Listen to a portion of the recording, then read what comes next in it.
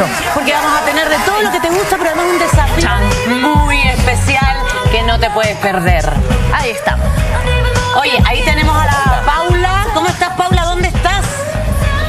Hola chicas, me encuentro en pleno centro de Santiago porque en pocos minutos vamos a estar hablando con gente del Ceremi de Salud de la región metropolitana sobre en qué nos tenemos que fijar a la hora de elegir un centro de estética. ¡Qué buena! Porque muchos son los riesgos que se corren cuando no nos informamos sobre este tema, así que quédense atentos para contestar todas las preguntas sobre los centros médicos o centros de estética. Muchas gracias, Paula. Un ratito más vamos a estar contigo, un temazo. También vamos a seguir hablando de Pampita y Benjamín Vicuña. Así es, y además tendremos porque abajo una- mío estaba Pampita y. Benjamín Vicuña. Y debajo de mí Mira, mira, mira, estaba. Abajo está- Marcela y Rafa Araneda, la historia de amor de estos dos grandes personajes de la televisión chilena. Oye, recordarle a nuestras amigas en casa que estamos nominadas como mejor matinal para el Copihue de Oro, así que vote por nosotras comprando el diario La Cuarta, toma su código y a través de ese código puede llamar por teléfono o puede ingresar a internet y votar por nosotras y a Guaguito Michael Roldán como mejor opinólogo. O llevarlo al buzón también. Eso te decir. Eso también. Y si te da la te llevar al buzón, al mismo kiosquero,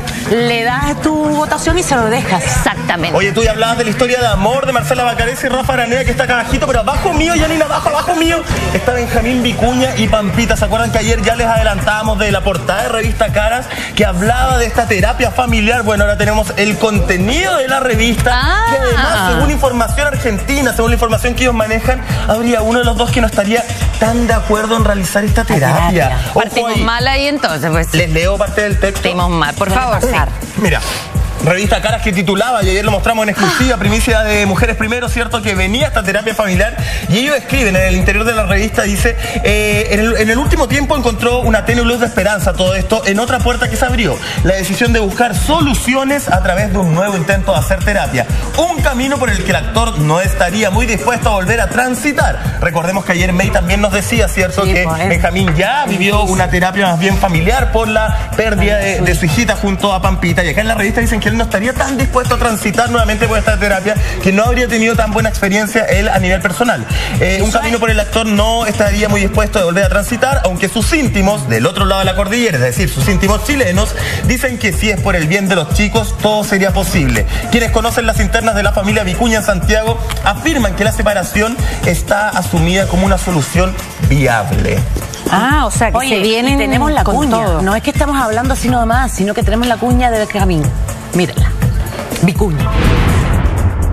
Benjamín, eh, siempre sin ánimo de molestarte, eh, y desde el amor llega en un momento también muy particular de tu vida, ¿no? Digo, con, con mucha explosión de tu vida privada y, y mucha falta de respeto. y ¿Cómo, cómo haces para, Para surfear la ola. Equilibrar todo Sí, esto. eh, para mí, bueno, eh, momentos difíciles, por supuesto que, que la- el, el amor, la amistad, la solidaridad es lejos lo más importante, pero también el trabajo. A mí yo amo lo que hago, igual que ustedes, ¿viste? Ah. Soy un afortunado de, Sí. de hacer lo que me gusta.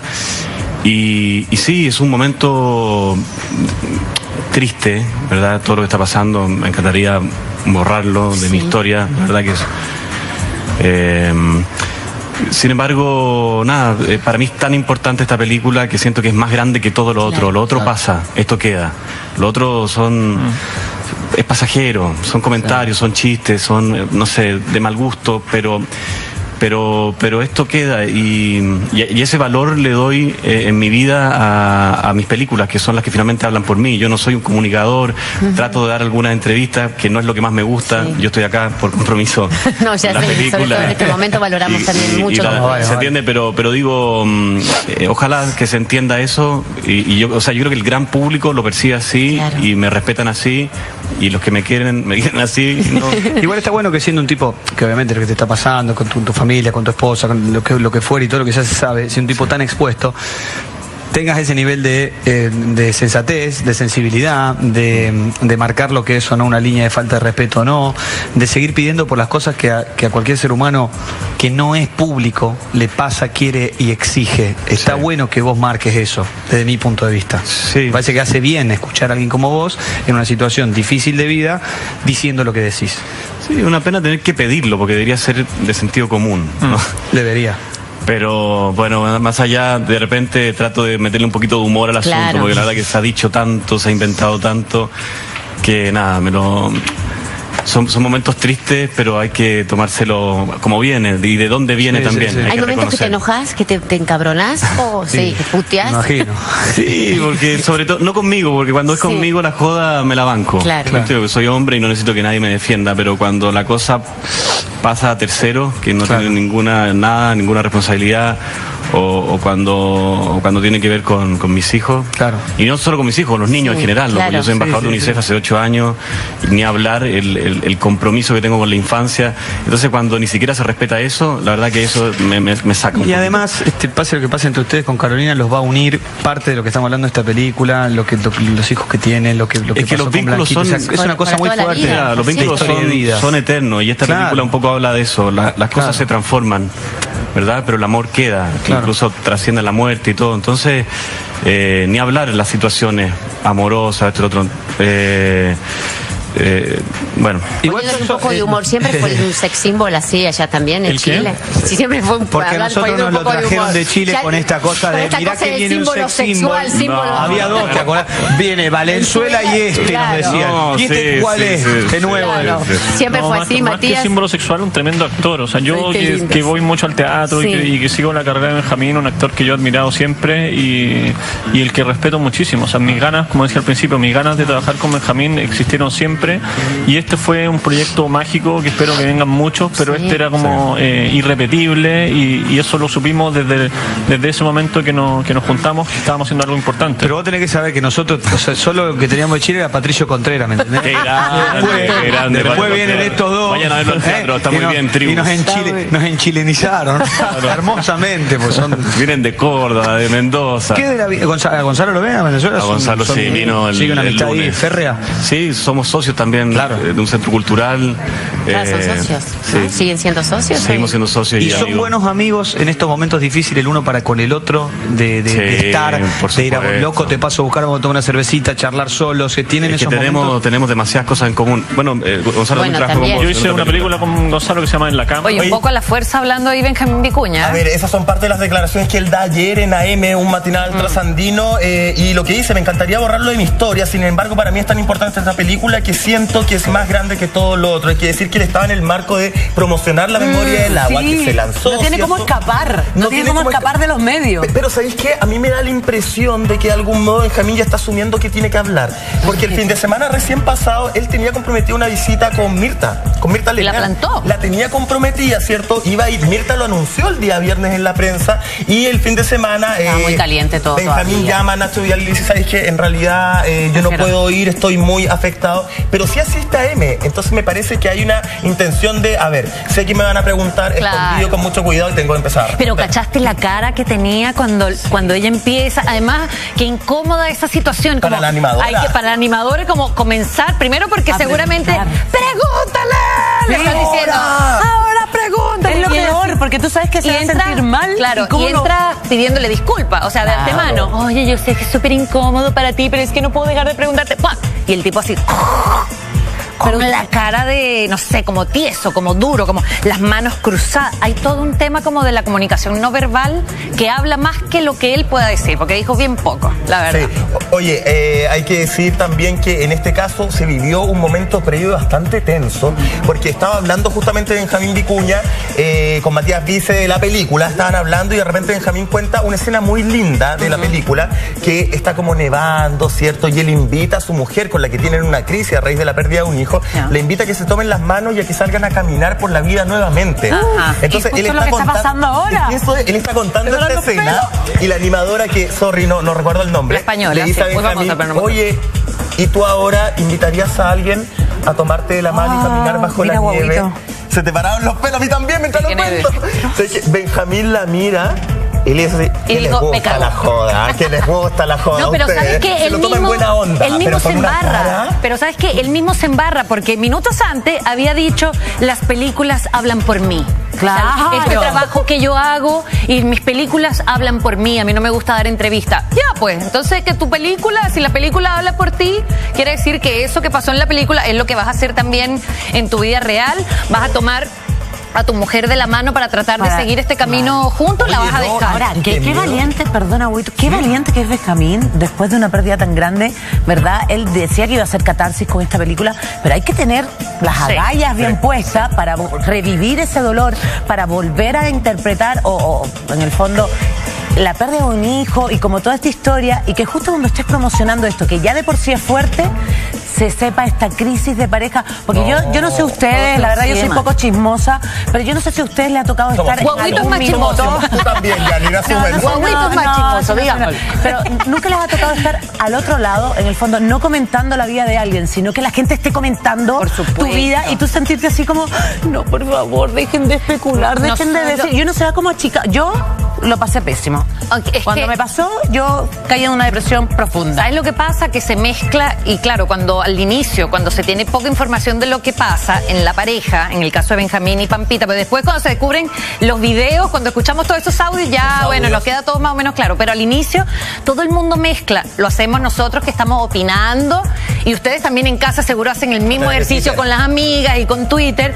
Eh, esto de que mezclas lo que sabes, más lo que te imaginas, más lo, que, te, contaron, gustaría. más lo que te gustaría. Y al final cada uno se arma una historia que capaz no tiene nada Mira, que ver con acá la realidad. Los únicos que saben Nada. la verdad son Benjamín y Pampita. Lamentablemente, por una imprudencia de los empleados de la casa de Pampita, el Abuso. resto nos enteramos de una, de una pelea que no teníamos por qué enterarnos. Pero sabes que yo me quedé pegado con lo que tú decías, Janine. Las palabras de Benjamín de que él hace catarsis a través de las películas.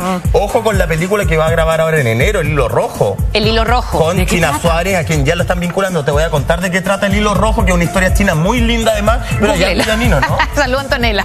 Es que es un chiste interno. Un besito para ella. Oye, a propósito de esta terapia de pareja que se planteó en la revista Caras o Cosas Caras. de Argentina y que estarían a lo menos ellos sopesando, ¿cierto? A ver si ingresan o no ingresan a hacer esta terapia. Le preguntamos a los famosos si las han hecho, si las harían. ¿Cuáles fueron sus respuestas? Vamos a descubrirlo aquí en la siguiente nota. ¿Sirven o no sirven? Eh, ay, yo nunca hice terapia de pareja, pero yo creo que sí que debe funcionar. Igual ya el hecho de que cuando creo que una pareja llega al punto de decir necesitamos una terapia, es como que ya estás tocando fondo. Entonces, igual es un lindo gesto, sobre todo los hombres, porque los hombres son los que siempre se rehusan a la terapia. No sé, yo nunca he estado en una terapia de pareja, pero yo creo que sí. Sabéis que he escuchado algunos casos de personas que dicen que sí, que, que les ha funcionado, porque así como uno va al psicólogo para ayudarse uno, también uno se puede ir al psicólogo como para ayudar la pareja también. Entonces yo creo que funciona. Yo creo que cuando hay un amor de verdad y que la situación se desgastó, no por infidelidad, se desgastó por otro tipo de cosas. Yo siento que la infidelidad mata cualquier relación, las mata. O sea, cuando uno dice yo lo perdono porque lo amo, mentira. O sea, encuentro que cuando uno ama es difícil poder perdonar a alguien que te que traicionó tu amor, ¿cachai? Yo creo que esa es de las cosas más difíciles que puede suceder. Es tan personal eso. A mí personalmente no me funcionó. Nunca he ido a una. Eh, yo creo que depende de cada pareja, del problema en cuestión, de las personalidades de los que están ahí involucrados. No creo que sea un patrón así como que si hay una terapia de pareja se van a solucionar todos los cachos. Oye, una, una tremenda pregunta que puso ahí como en jaque a algunos famosillos que nos encontramos, porque uno también se pregunta, ¿cuándo sirve la terapia? Em, ¿Cuando finalmente esa pareja se reconcilia? ¿O tal vez la terapia también ayuda a que sea una separación sana? Claro. A que sea una separación que, en la que no Exacto. discordia, porque finalmente, en- volviendo al caso de Pampita, porque a, a raíz de eso tomamos el ejemplo, ellos tienen una familia por la que van a velar o por la que tendrán que velar siempre. la vida. Y ahí es es un donde- destino, es un, es un camino y un destino indisoluble. Entonces probablemente una terapia sirve, si no sirve para juntarlo, de repente sirve para que cada uno siga su camino en buena lid. De ahí es donde me llama la atención de las opiniones de Carola Jorquera, porque si te fijas hay una chica sol- eh, que no tiene hijos. No es lo mismo ir a terapia de pareja cuando tú eres una pareja que no tiene hijos a cuando los tiene. Yo me acuerdo de mi primer matrimonio, fui a terapia de pareja y la psicóloga era una divina, una maravillosa. Y fíjate que la primera reacción de mi ex marido cuando yo le dije, ay, que le mando un besito porque los- nos llevamos muy bien, bueno. cuando yo le dije, eh, vamos a terapia de pareja para tratar de solucionar esto, fue, no, no, no, anda tú, si la que tiene el problema eres tú, no yo. Y eso suele pasar mucho en las relaciones cuando tú abres el tema de terapia de pareja, de llevar a tu marido o a tu pareja. Ahora, lo que decía Carola Jorquera, no, yo si es de infidelidad, no perdone, no sé qué. Señores, hay que tener hijos para que te des cuenta cómo se te cambia la tortilla. Si yo decía lo mismo. O sea, tú no, yo no yo perdono Carola. infidelidad. Porque tampoco Claro, tiene hijos. por eso te digo. Yo cuando era soltera decía, ni loca, ni a pata. Y yo le digo a mi marido, vos me pones el gorro y la pataba después, pero eso es fácil. Pero ahora con no, May. hijos, con hijos no se puede. Pero para hablar. O sea, May, perdón, perdón, miedo. perdón. ¿Perdonarías una infidelidad para proteger la figura de mm, papá, mamá e hijo? No es, no es proteger la figura mamá, papá y hijo, es porque se, la relación que tenemos nosotros con nuestro hijo ahora, te juro que sopesaría tanto el hecho de que mi hijo se criara al lado de su padre, de criarlo juntos. ¿Que estarías dispuesta de- a perdonar una infidelidad para que tu papá Estaría se dispuesta quede- a ir terapia. Por eso es que queremos preguntarle a la especialista que tiene muchísimo más experiencia y sabe si funcionan o no estas terapias de pareja. Ya estamos viendo ahí a Constanza del Rosario. ¿Cómo estás, cariño? Muy bien, ¿y ustedes? Muy Hola, hola. bien. Acá en la disyuntiva si las terapias de pareja funcionan o no, pare- o no funcionan. Si es con hijos, si se perdonan las infidelidades o no. Bueno, funciona, me dedico a eso, no me estoy dedicando a un rubro que no funciona. Tengo toda la fe del mundo en lo que hago. Ok. Eh, pero son súper importantes, especialmente los casos que ustedes están hablando, una terapia de pareja, como por ejemplo cuando es descubierta una infidelidad. Ya. Para reparar, porque hay una herida en el vínculo, en la confianza en el otro. Y la pareja se mantiene en eso, en ese vínculo de confianza. Entonces, cuando uno encuentra que me han sido infiel o que hay mentiras o promesas no cumplidas, es súper importante hacer un proceso terapéutico para reparar. Constanza, según tu experiencia profesional, ¿quiénes son los que acuden principalmente a la consulta buscando una terapia de pareja? ¿La mujer o el hombre? ¿Y cuáles son los casos más frecuentes que ves? ¿Sabes que Hoy en día yo veo que hombres y mujeres vienen en búsqueda de ayuda. Ellos también están súper preocupados de que sus relaciones funcionen. Muchas veces los matrimonios o las relaciones entran en crisis por diferentes factores. Cuando nos, va- nos vamos a convivir juntos, cuando nacen los hijos, cuando hay una infidelidad, cuando hemos caído en la rutina, cuando hay un trastorno sexual. Hay muchos motivos que pueden llevar a alguien a pedir ayuda terapéutica. Constanza, ¿cómo sé yo eh, como pareja cuándo es el mejor momento para pedir esa ayuda? ¿Es cuando siento que estoy entrando a este hoyo negro en mi relación, cuando ya toqué fondo? Cuando ya no pueden hablar. Cuando ya no se habla, claro, cuando me tiro el plato por la cabeza. No, ojalá fuera antes. La verdad es que hoy en día la gente acude a terapia de pareja no solamente cuando hay un problema, sino también cuando quieren adquirir herramientas para estar mejor en pareja. Entonces tú puedes venir a una terapia de pareja porque quieres mejorar tu comunicación o porque estás teniendo problemas de comunicación, porque te das cuenta que la afectividad en la pareja está disminuida, porque la sexualidad no es lo mismo. Entonces por eso vienen en diferentes momentos. Ojalá antes de que estemos en la crisis, Crisis. donde nos tiramos los platos por la cabeza o ya no nos conversamos. Ojalá Constanza. Constanza, ¿cómo comienza esta dinámica de las terapias? Cada uno, o sea, por ejemplo, la mujer va primero a tu consulta, conversa, después el hombre en una hora, en una cita por separado, o siempre es en conjunto para hacer como un careo. ¿Cómo funciona? La verdad es que yo soy bien, soy bien flexible en eso, porque si llega la mujer sola o el hombre solo, llegan juntos, eso ya me da información de qué está pasando en la relación. Entonces, las primeras entrevistas son diagnósticas y yo permito que ellos vengan como ellos decidan. Luego, después, voy estableciendo si es que los, voy, los veo juntos o por separado según cada caso. Constanza, ¿qué pasa con los hombres, por ejemplo, cuando eh, a- acceden a ir a esta terapia de pareja, pero más que por la pareja, por los hijos? Bueno, muchas veces, a ver, es súper importante para alcanzar un logro terapéutico que ambas partes estén motivados, motivados en salvar la relación de pareja. Entonces, si nos encontramos con que una de las partes cree que toda la responsabilidad es del otro o no tiene tanta motivación, vamos a tener que empezar trabajando en eso. En darnos cuenta de que todo lo que pasa en pareja, de una u otra forma, los dos estamos comprometidos, que somos un equipo. Entonces, que no nos sirve y que no vamos a llegar a ninguna parte si eh, no tengo la suficiente motivación o si no me doy cuenta que yo también tengo responsabilidad en el asunto. Constanza, pero ¿qué pasa si yo tengo una relación y yo estoy súper motivado a salvarla y siento Ajá. que hay que ir a una terapia de pareja, pero mi polola, mi conviviente no quiere? ¿Es posible que yo asista de manera personal a la terapia, tú me entregues herramientas para convencer a mi mi, a mi polola, ¿cierto? Y después ir en conjunto o ahí ya no funciona. Sí, absolutamente. Muchas veces también parto de esa manera y en la medida en que la contraparte empieza a darse cuenta de que hay cambio, de que, de que el otro está entendiendo cosas que no entendía, eh, le, le nace el interés de también venir a ver qué es lo que está pasando en estas sesiones y muchas veces se integran. Oye, hay algunos que nunca llegan, eso sí. Claro. Eh, no, y otra cosa que también pasa, tengo la experiencia de alguien muy cercano que mm, lo pasó pésimo en la terapia de pareja porque el especialista en cuestión tomó parte. Y eso no lo puede tomó hacer. parte. Entonces estaba claramente a favor de una, apoyaba claramente uno de los lados. Entonces la otra persona en la terapia se sentía, o sea, Sola. sentía que no estaba Solo. no solo enfrentando a tu pareja, sino Sino a a dos dos. personas. Claro. Y es muy muy difícil como salir de esa situación, o sea, no levantarse y decir, ¿sabes qué? Yo con ustedes no hablo más. Y No, largarse de de la manera.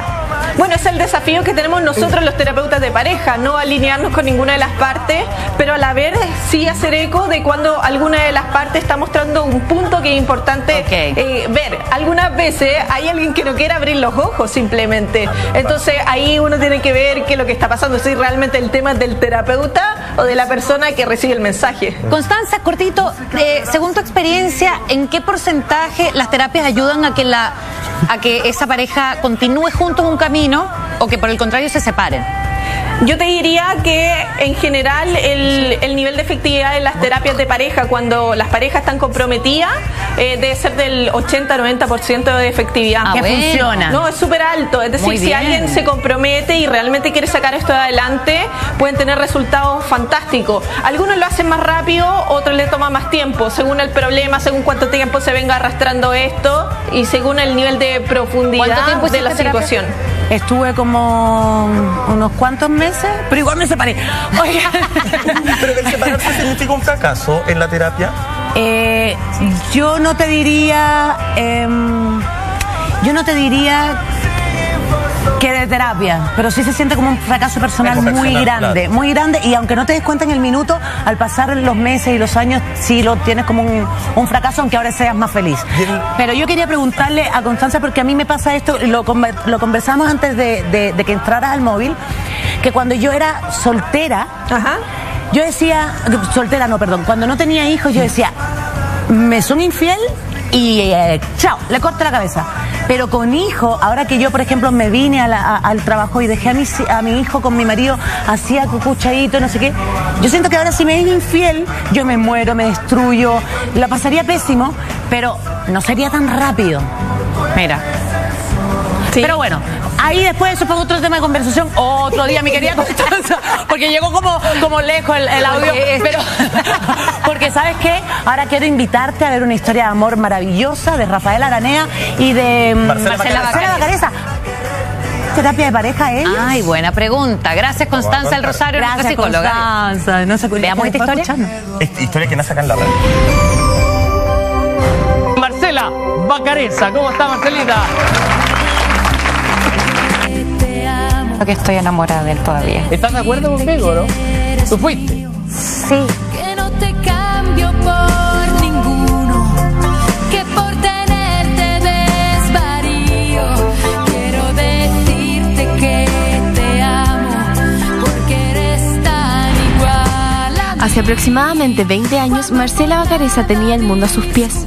Había sido elegida Miss Chile en 1992 y nuestro canal vio todo el potencial que tenía como animadora. Dan dos pasajes a Viña del Mar con todos los gastos pagados para quienes llamaron al 720-84 al final del programa. Mientras Marcela deslumbraba con su belleza y consolidaba su carrera, un inexperto Rafael Araneda llegó a la red para comenzar en el mundo del periodismo. Y hoy día debuta la grúa. ¿Mochemos la grúa? Mochemos la grúa por estos lados. Miren, véngase para acá. Yo le traigo el cable. Eso, aquí. Hay que hacerla toda por estos lados. Ahí está. Pasó el tiempo y los encuentros casuales entre estas dos jóvenes promesas de la televisión hicieron un clic entre ellos. Eh, nos conocimos en los pasillos del canal. Eh, su risa se escuchaba eh, a gran distancia. Eh, siempre andaba contento, eh, riéndose. Eh, eso me encantó, me encantó el tiro. Pero, aunque no lo creas, llegar hasta el corazón de Rafael no fue tarea fácil para Marcela. No, ya que el animador sufrió una terrible desilusión amorosa. Él se iba a casar, eh, había entregado anillo y todo y se lo devolvieron, entonces él estaba en una época de como de eh, desilusionado del amor, de las parejas, pero no fue fácil porque como había pasado por esta desilusión amorosa, eh, yo como- que me lo tuve que un poco ganar eh, y que volviera a confiar en el amor. No fue fácil, no, nos demoramos como un año, como un año en hacerlo más formal. Quizá no fue coincidencia encontrarme contigo. Tal vez esto lo hizo el destino. El 27 de mayo del 2000, Rafael y Marcela se casaron en una de las ceremonias más bulladas de esa época. El evento para ellos fue de ensueño, pero ¿cómo habrá sido la pedida de matrimonio? Fue en el campo de la hermana y me dijo que me iba a regalar un perro. Yo vivía en un, en un departamento solo, entonces yo le decía, perro, eh, no puedo porque en un departamento solo y todo. Y, y me puso una cintita roja así como por, por el campo que siguiera esta cintita roja y la cintita roja llegaba a la casa de perro. Y en vez de estar un perro adentro estaba el anillo ahí.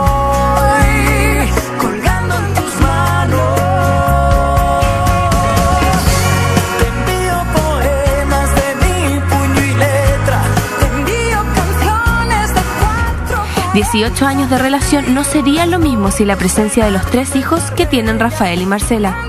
Martina, Florencia y Vicente. Un amor inmenso, un amor que no se puede explicar. Eso siente Marcela hacia sus hijos y junto a Rafael han sabido determinar los roles que cada uno cumple en la vida de los niños. Yo sin más de los horarios, de las normas, de los hábitos, etcétera y todo. Y él es súper juguetón. Con Vicente, por ejemplo, sigue yendo al fútbol, juega, juega play con él, juega tenis, juega fútbol. Siempre ha estado súper presente en eso. El matrimonio Araneda-Vacareza no ha estado exento de dificultades. En el año 2002 falleció el padre de Rafael. Su muerte fue sorpresiva, abrupta y significó un dolor que caló profundo en el alma del animador. Se me fue con el sol, sin hablar, sin un adiós. No recuerdo ni su cara ni su voz. ¿De qué manera habrá afectado la muerte del padre de Rafael en su matrimonio?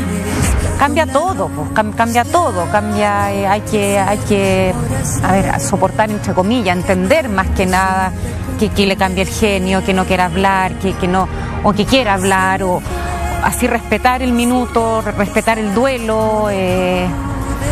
Eso fue, fueron meses, fueron meses, yo, yo no sé si difíciles, pero especiales. A pesar del dolor de una pérdida, esta pareja ha logrado sobrellevar la pena y por supuesto que para mantener la relación por casi dos décadas es necesario regarla igual que a una flor. Nos gusta ir al cine, nos gusta ver series por televisión juntos, eh, tenemos súper buenos amigos, entonces salimos también harto a comer. Eh, somos bien patiparreros. Cuando uno está enamorado siempre habla de las cosas buenas de su pareja, pero yo me imagino que más de alguna maña debe tener el Rafa. Me carga preocuparse de la ampolleta que no funciona, de, de la cañería, de, de todo eso le carga. Y a mí me encantaría que se involucrara quizá un poquitito más en eso. A pesar de tener un futuro prometedor en las comunicaciones, Marcela prefirió darle prioridad a su maternidad, mientras que Rafael se convirtió en uno de los conductores más importantes de la televisión chilena. Y como si fuera poco, ahora trabaja en México, donde anima un programa que se transmite en el país azteca y en Estados Unidos. Tal, hoy día es día de sí se puede, ya les decía que desayunamos, hicimos deporte y ahora estamos ya en los foros de sí se puede. Que Marcela haya decidido no trabajar y estar lejos de la televisión significó que en abril de este año el programa Vértigo le hiciera la siguiente interrogante. Marcela, guapa, regia, estupenda, pero hace tiempo que no te vemos en la televisión. ¿Te sientes una mujer mantenida? tema de mantenida o no, eh, también lo dije, en una familia eh, en una pareja que está casada no hay un mantenido y uno que no, que no es mantenido, es una familia. Lamentablemente, cuando una mujer decide dedicar su vida a los hijos, la sociedad puede ser muy castigadora. Y en el caso de Marcela, algunos creen que hoy vive bajo la sombra de Rafael. Por eso, no quise quedarme con la duda y le pregunté qué sentía sobre estos prejuicios. Eh, yo no voy a entrar en una competencia con él por, porque que a ti te va mejor que a mí ni nada. Si yo, los dos trabajamos en televisión, nos casamos, él, él- siguió, yo, yo tuve que parar un poco, quise parar también, eh, dejando ofrecimientos de lado por mis hijos.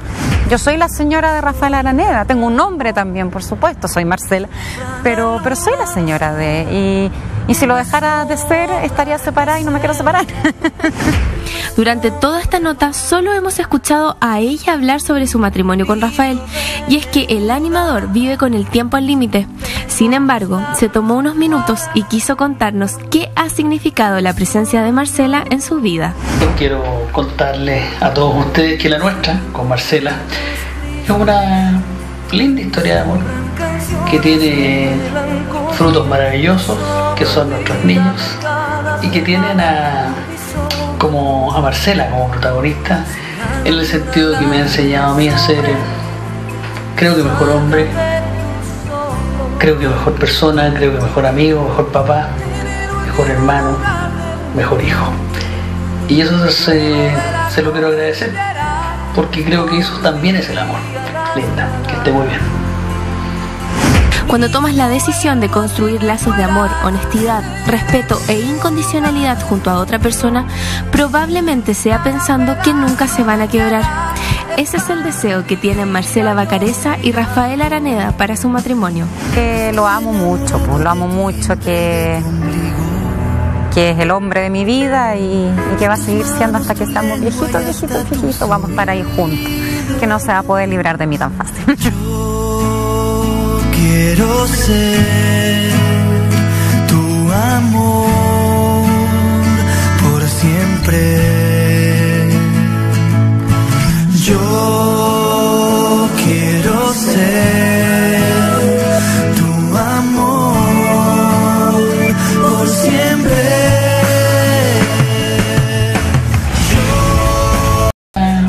Linda historia de amor que tiene frutos maravillosos, que son nuestros niños, y que tienen a, como a Marcela como protagonista, en el sentido que me ha enseñado a mí a ser, eh, creo que mejor hombre, creo que mejor persona, creo que mejor amigo, mejor papá, mejor hermano, mejor hijo. Y eso se, se lo quiero agradecer, porque creo que eso también es el amor. Linda, que esté muy bien. Cuando tomas la decisión de construir lazos de amor, honestidad, respeto e incondicionalidad junto a otra persona, probablemente sea pensando que nunca se van a quebrar. Ese es el deseo que tienen Marcela Bacareza y Rafael Araneda para su matrimonio. que lo amo mucho, pues lo amo mucho, que, que es el hombre de mi vida y, y que va a seguir siendo hasta que seamos viejitos, viejitos, viejitos, vamos a estar ahí juntos, que no se va a poder librar de mí tan fácil.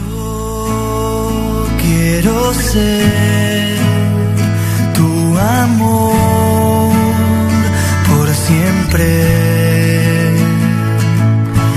Yo quiero ser tu amor por siempre.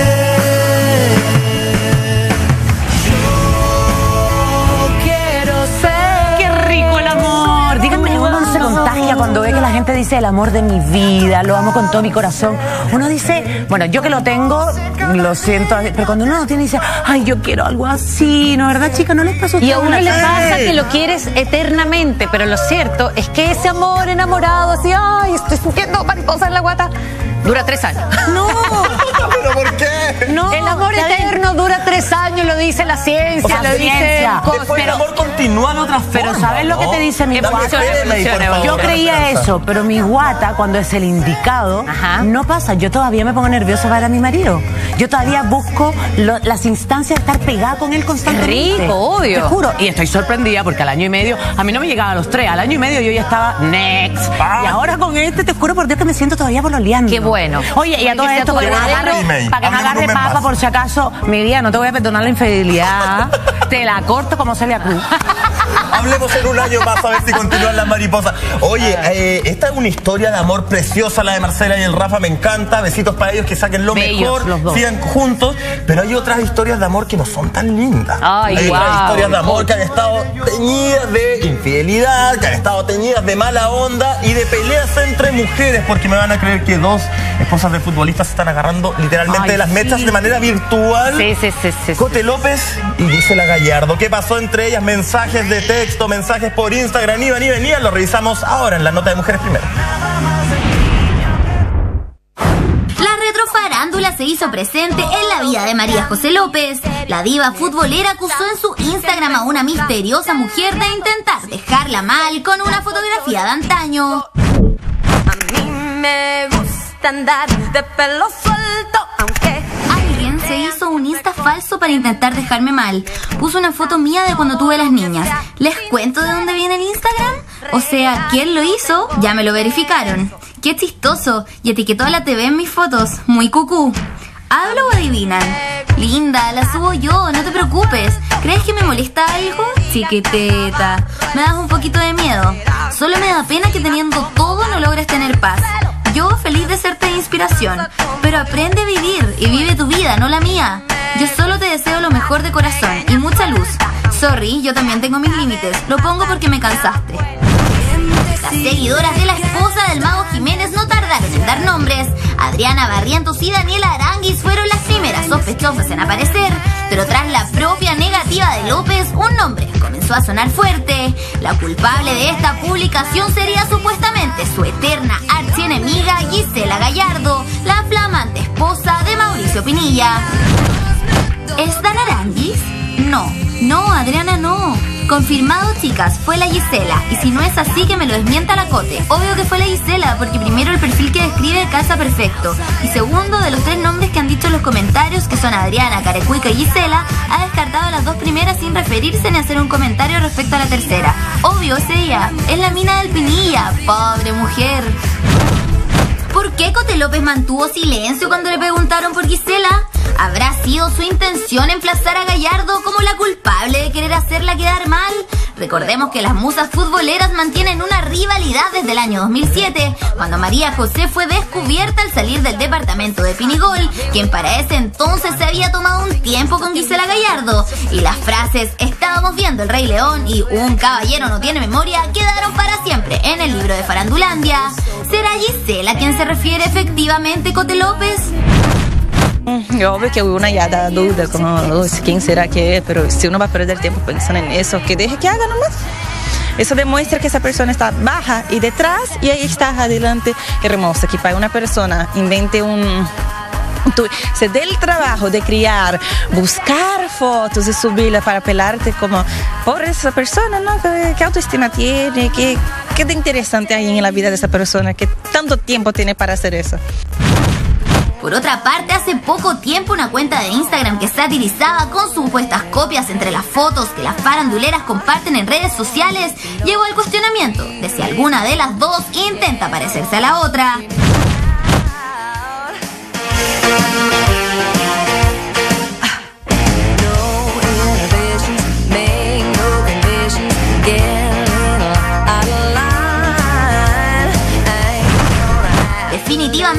Polémica que está que arde. No será mucho seguir la enemistad después de 8 años, cuando ambas continuaron sus relaciones y hoy disfrutan de una vida de ensueño. Y ustedes, chiquillas, a votar. ¿Será Gisela Gallardo la verdadera culpable o se les viene otro nombre a la cabeza? Oh, Oye, ahí está esta historia entre Cote López y al parecer Gisela Gallardo. Hay que decir que se, se aparece una cuenta que se llama Bendito Photoshop, que aparece una fotografía de Cote López justo 10 días después de haber dado a luz. Y estaba estupenda, Y porque eran tres. Entonces, en el fondo, esta cuenta decía como, miren, Cote López en el fondo es falsa porque se hace Photoshop para quedar así.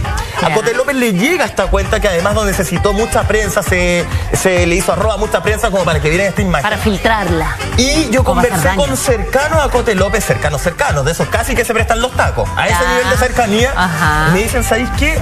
La Cote López ha comentado hace rato que ella siente que hay una mujer que no la deja en paz hace nueve años.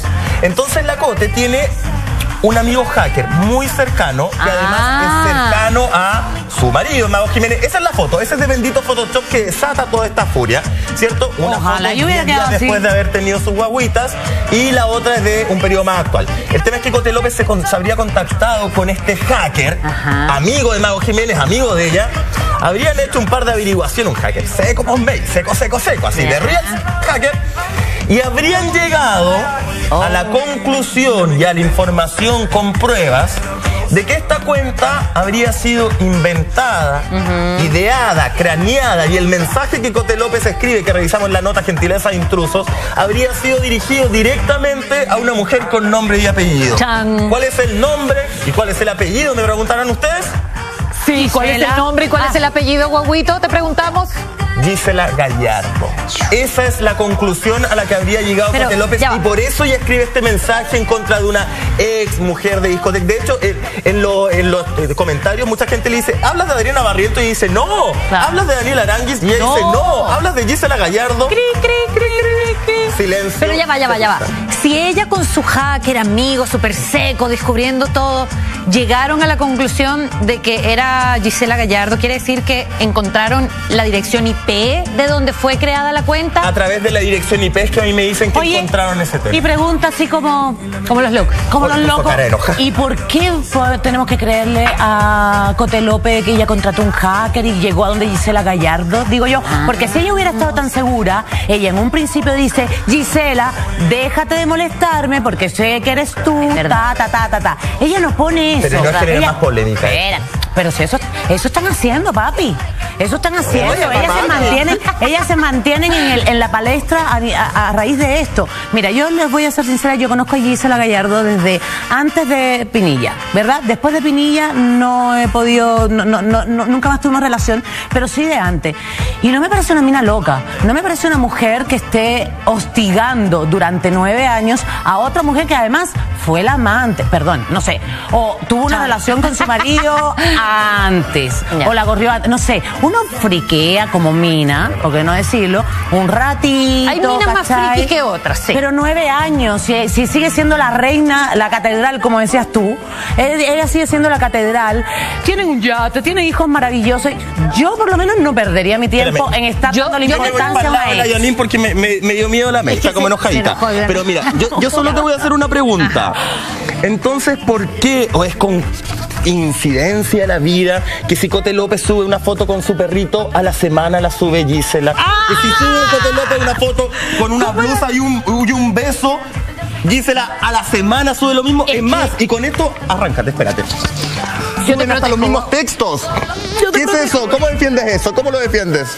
Es que son muchas casualidades. Cuéntanos ese detalle, cuéntanos ese No detalle tengo de la cómo foto. defender eso. Porque son muchas casualidades que lamentablemente hablan muy mal del, espérate, pero puede de la haber- acusada. Escúchame, pero ahí hay otro tema. Ay, pero no le pegues a parando. No, no, no, no. Ahí lo que puede pasar es que en el fondo, cuando uno la, la gorrean, ¿verdad? Uno dice, ¿qué tiene ella que no tenga yo?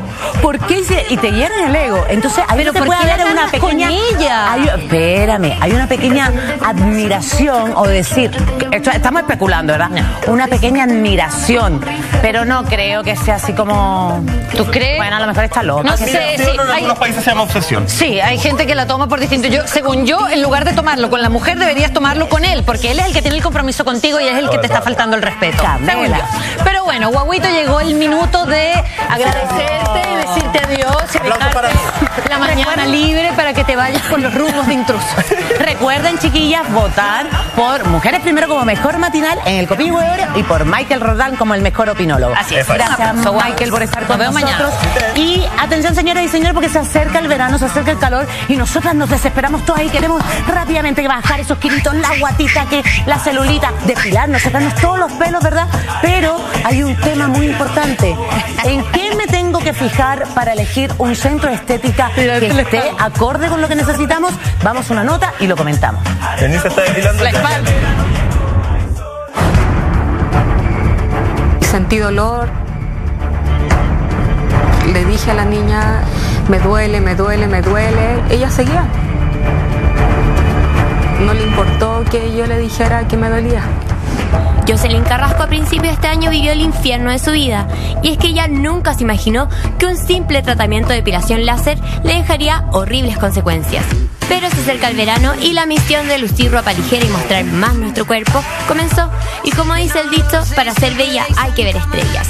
Los centros estéticas comienzan a llenarse de desesperadas mujeres que quieren eliminar ese molesto rollito y hacerse uno que otro tratamiento. Yo fui a depilarme como cualquier otra sesión que tuve y, me y salí quemada.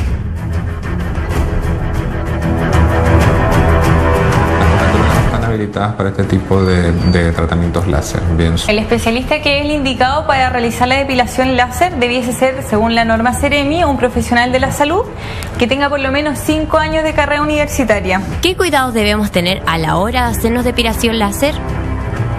¿Acaso todos podemos someternos a este procedimiento? No debiese hacer una cosmetóloga este tipo de tratamiento láser. Es muy importante cuando uno va a realizar un láser ser evaluado por un profesional idóneo, ¿sí? que pueda evaluar qué tipo de piel, qué color de piel. Los láseres tienen mucho que ver con eso. A veces funcionan, pero funcionan por demás. Entonces eh, hay que siempre utilizarlos en su justa medida y eso lo puede solamente evaluar un buen profesional que esté capacitado y entrenado para el uso de láseres. Pero tratamiento fallido no solo puede traer consecuencias físicas, sino que también psicológicas. Hasta ahora eh, me he sentido muy mal con respecto al tema del clima, ya que no puedo tomar sol, los daños me, causan, el sol me causa dolor, tengo que andar con manga larga eh, y me, tapada, con vergüenza, porque se me ven mi, mi, mi- mis brazos blancos, con mancha.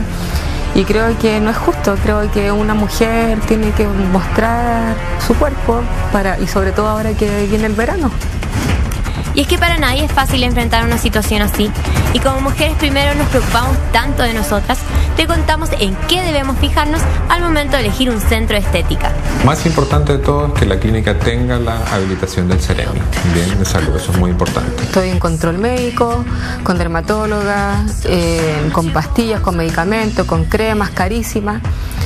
Y todavía tengo mis manchas que, que demuestran el daño que sufrió mi cuerpo. Ahora sin duda que pensaremos más de una vez antes de poner mano en nuestro cuerpo. ¿Y tú? ¿Qué miras al momento de elegir un centro de estética? Bueno, complicado. Estamos viendo el caso de esta mujer que se llama Jocelyn Carrasco, a quien le mandamos un saludo porque sabemos que lo pasó bien mal. Sigue sufriendo las consecuencias de, de esto que no sabemos si es un mal procedimiento, si tiene que ver con que el tratamiento no era lo que ella necesitaba o su piel no, está, no era la adecuada para ese tipo de rayos láser. Son muchas las preguntas, May, que nos eh, surgen y también otra muy importante que nos planteamos y es cómo elegir un centro de estética adecuado, cómo saber que esos profesionales nos van, están acreditados, eh, digamos, nos van a prestar los servicios médicos y las garantías que necesitamos como pacientes o como clientes. Es lo que justamente queremos conversar con Luisa González, jefa del Subdepartamento de Profesiones Médicas de la Ceremi de Salud. Y con ella estamos enlazadas en este minuto a través de Paula Sembler. Hola, Paulita. Hola chicas, ¿cómo están? Estábamos muy atentas junto a Luisa escuchando la nota y el caso de Jocelyn Carrasco que fue hasta un centro de estética en busca de un procedimiento que puede parecer simple, es decir, hacerse una depilación láser en el brazo, pero terminó absolutamente quemada. Por eso vamos a contestar las preguntas que tú hacías, Janine. Y la primera es, ¿en qué nos tenemos que fijar, Luisa, a la hora de elegir un centro de estética? Bueno, eh, buenos días primero. Y segundo, decir que lo más importante eh, es consultar si el establecimiento tiene autorización sanitaria. Eh, lo que no debemos olvidar, eso sí, es que del 14 de febrero del año 2014 los institutos de belleza no requieren de la autorización sanitaria, pero sí todos los eh, institutos que tengan incorporado máquinas y como es el caso del láser, el láser es un procedimiento médico. Por lo tanto, toda persona que vaya a hacerse una depilación láser, lo primero que tiene que hacer es preguntar por la autorización sanitaria y qué profesional es el que está responsable y a cargo de la actividad. Luisa, ¿y qué profesional en específico debería ser el que esté a cargo de hacer, por ejemplo, un procedimiento de depilación láser? ¿Puede hacerlo un cosmetólogo, por ejemplo? Por ningún motivo el cosmetólogo, o sea, de acuerdo al, al decreto 88, dice específicamente las actividades que debe desarrollar la cosmetóloga. La cosmetóloga solo está para fines de embellecimiento y estética, pero para piel sana. Y eso significa, o sea, masaje con cremas, eh, pero nunca depilación láser. Ella no opera máquinas. O sea, eso tiene que quedar claro que una cosmetóloga no puede operar máquinas salvo si está bajo la supervisión de alguien profesional. Perfecto. Pero eso queda en manos del profesional. Muchísimas gracias, Luisa. Sabemos que te tienes que ir, que estamos rapidito. Muchísimas gracias. Y bueno, ya lo saben ustedes, chicas. Ya lo saben, eh, es súper importante que a la hora de ir a hacerse un tratamiento, ustedes tengan claro que también tienen que decirle todo al médico, que, qué medicamentos están tomando, si tienen resistencia a la insulina, qué tipo de piel, todo eso es muy importante.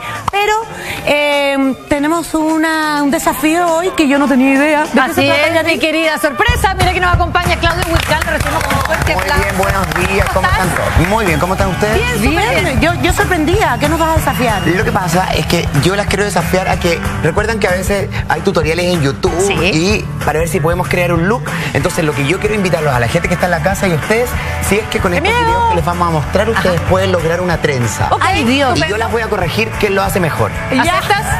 Dale, va, Yo también acepto. que Vamos a revisar entonces este tutorial, cómo aprender a hacerse una trenza con tus propias manos sin la necesidad de acudir al experto. Vamos a revisarlo acá en el siguiente video. Bien, para hacer este peinado solo vamos a necesitar dos cosas. Un peine y unas cuantas gomas de estas elásticas. Bien, vamos a empezar. Lo único que vamos a hacer es poner el pelo hacia un lado. Puedes escoger el lado que quieras. Yo escojo el lado del flequillo. Y vamos a sujetar el pelo con una goma elástica.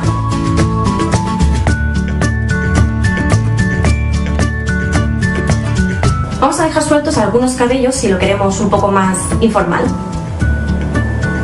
Y ahora lo único que tenemos que hacer es abrir un agujero aquí en medio y coger el resto de la cola y pasarlo hacia atrás.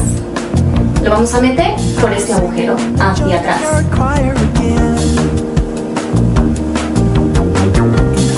Cogemos otra goma y volvemos a sujetarla. Y volvemos a hacer lo mismo. Un agujero en medio y cogemos el resto de la cola y hacia atrás.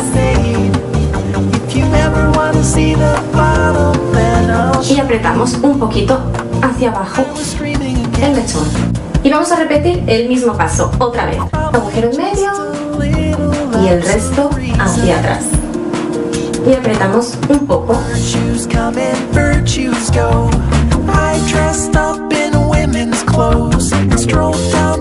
Vamos a hacer uno más, eso dependerá de la largura de vuestro cabello. Cuando ya tenemos todo el peinado hecho, solamente tenemos que soltarlo un poco para darle un aspecto más informal.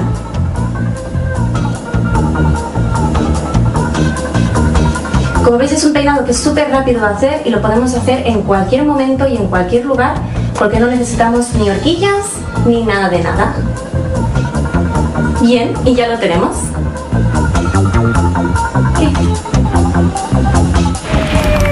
Entonces, Entonces, ¿están Lindo, preparados lindo, para el lindo. desafío? Espérate, espérate, peinémonos primero. Primero dijeron peinado. Entonces necesitamos un peine y estas liguitas, porque en este caso que la May tenemos una morena y una rubia, siempre hay liguitas que son para gente morena y para personas rubias. Perfecto. ¿Ya? ¿Lo hacemos al mismo tiempo o es contra el tiempo? y ¿Cómo lo cada una hacemos? por su lado. ¿Las dos a la misma vez? Lo van a hacer ustedes a la, a la misma vez y después yo corrijo, para que, Ok, para que ok, la, la casa no digan que yo hice trampa. Ya, aquí ya, están buenísimo. tus materiales, May, Ok. y aquí están tus materiales. Vamos. Ok, a la una, a las dos y a las tres. Y empezamos. A ver, a ver, a ver. Y agarramos el pelo. La gente que está en su casa me ayuda. La liguita. Ah.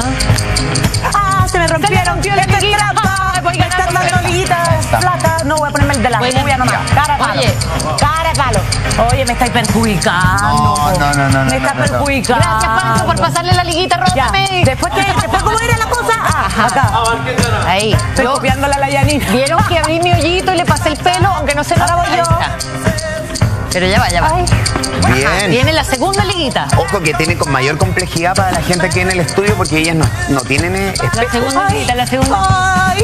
Ok, abre el hoyito, abre el hoyito, abre el hoyito. Mira, mira. Ay. Mira. Dale un poquito más de espacio. Eso, eso. Menos mal que no me salió niñita porque si no estaría perdida. Vamos con la y ahora tercera. vamos con la tercera liguita. Me te queda Pucha, a mí poco. se me pelo, se me un pelo. más. Necesito unas extensiones urgentes para adentro. Y ahora voy con mi tercer hoyito, mira. Ya tengo dos hoyos. Tienes dos hoyos, yo tengo tres. Que se ve raro. Que se ve raro con la, la, la Ahí liga está, amarilla. ahí está, ahí está. Y ya no me alcanza el pelo, Claudio. Ya no me alcanza el pelo. Ah, no, tienes que llegar a tres. Tienes que ser tres. Fantástico, entonces ¿Qué hago? dijimos ¿Ya? el tiempo. ¿Ya? Entonces, me Eh, van a ayudar eh, porque eh, yo voy a revisar. Ya no pueden hacer nada más. Ok. Ya. Déjame abrir. Vamos entonces a partir con Janine. Ajá. Ya, Vamos a ver que nuestro señor director me ayuda entonces. Vamos a Ay, revisar. qué linda te quedó. Entonces, los pasos fueron No lo veo. Que ella en, en su primer puso la liga, partió en dos, giró. Ajá. Tercera liga, partió en dos, giró. Y cuarta liga, partió en dos. ¿Qué corrección le haría yo? Ajá. La soltaría un poquito más para que, en el caso que sea un look más campestre, algo de día, Ya. la soltamos para que tenga. Y lo que dijo nuestro tutorial, que dejáramos unos pelitos sueltos. Ay, eso se me olvidó. ¿Ya? Pero ahí quedó. Pero la gente en la casa estoy seguro que lo pudo hacer. Del 1 al 7, ¿cuánto me pones? Del 1 al 7 te voy a poner un 5,5. Bien, igual me gusta. Pasé el desafío, creo yo, ¿no? Ya, señor director, tenemos Eh, aquí May. eh, un poquito eh, más. eh. Dime, Pancho, ¿ahí está Es que me bien? perjudicó con las ligas. No, no, no, no, no, no. May. Entonces, partiste súper bien. Ajá. Partí como caballo de carrera y terminé como burro. En este caso, sí o sí tenemos que cambiar por ligas negras, pero la, la May las cambió para para poder hacer el desafío. Sí, porque mira esta cosita, po. Ah, la liga negra era muy delgada. Sí, po. Ya, entonces, revisamos. Fantástico, lo separaste, pudiste hacer tus tres. Tus tres trencitas, pero mira, el último, ojo. Le di el toque May- especial. No, lo diste vuelta al revés. Ah. La May lo dio vuelta hacia afuera. Y esto es. O son todas hacia adentro o son todas hacia afuera. Mira, ve. Ah, buen dato eh. Mira, ve. Y también lo mismo, deberían soltar un poquito. Perfecto. May, del 1 al 7 te doy un 5. ¡Gane! ¡Gane! Pero, ¡Gane! Pancho, vamos con el segundo a ver, a ver si es que alguien gana.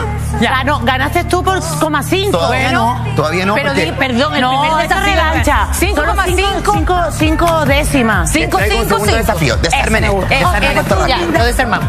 Desarmen, desarmen, desarmen. ¿Qué me lo que duele, No. Que se les corte el pelo, no me importa. Pancho, ¿a dónde me vas a invitar a almorzar? Esto es lo que duele. Al chilenazo. Bien. Vamos, vamos, Ya. vamos, vamos, vamos. Ok, se viene un segundo desafío. Usted puede practicar con nosotras en casa. Amigui. A ver. ¿Qué Oye, les cuento algo. A mí de chica no me gustaba peinarme. Bueno, de ¿En chica y de grande no me gusta peinarme. ¿Ya? Yo te juro que odio el peine, el peine porque me duele mucho tirarme el Oye, May y amigos, este no el te segundo desafío lo vamos a ver en un tutorial Pusiste. o nos lo vas a plantear tú, mi querido. Vamos a verlo. Ya. Como se puede ver, aquí lo divido en dos secciones iguales y estoy usando mi dedo índice para separar ese pequeño bulto a un lado y luego me lo traigo encima de esa sección antes de agregarlo a la otra sección. Como se puede ver, uso mis dedos índices mucho, no solo para separar esas pequeñas secciones de pelo, sino también para asegurarme de que las dos secciones grandes se mantengan separadas. Me gustaría mencionar la diferencia en tamaño entre las dos secciones de pelo que he tomado de cada lado.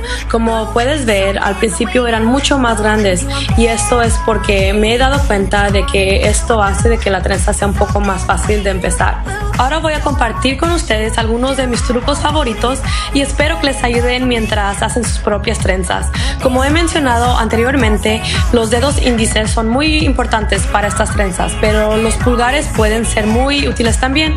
Como se puede ver aquí, estoy usando mis pulgares para mantener el trenzado apretado y para asegurarme de que no se afloje de ninguna manera. Puedes dejar la trenza como está o aflojarla un poco, que es lo que te voy a enseñar ahora. Así que básicamente solo se va a empezar a jalar de los lados de la trenza hasta que obtengas el efecto deseado. Así que con esto concluye este tutorial. Realmente espero que les haya gustado.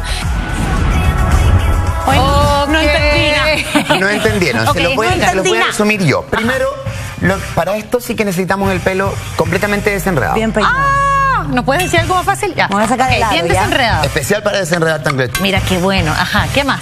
Parece un Entonces, cepillo de perro. Decía, ya, de pelo bien desenredado y hacia un lado, en donde tienen que partir en dos, Eh, mitades iguales. en dos mitades iguales. Ajá. Ya. Después, ¿qué Ya. hacemos? Dos mitades iguales. Entonces, Aquí. Ok. Sin ponerle colita. sin poner nada. Sin dos ponerle mitades dos iguales. mitades iguales. Ok. Ajá. Bien ¿Y ahora? pegado. Ya. En donde Pegado. van a poner un mechón, mira, por va, encima. Espérate, déjame hacérmelo de este lado porque como tengo aquí, el monitor. Perfecto. Ya va. ¿Qué hago? Vayan con May. Ahí estoy, mira. Ahí está. En donde vamos a tomar un mechón y lo pasamos por entre medio y lo sujetamos hacia el otro. En donde, mira, nuestro main, mira para acá primero. ¿De dónde sale el mechón? Escúchenme. Ajá. Orden, Ajá. suelta. Ok, suelta. Mira. Esto tiene que ser ordenado. May, mira tú Ya. para que después lo puedas hacer y después va a mirar Ya. la Yanin. Ajá.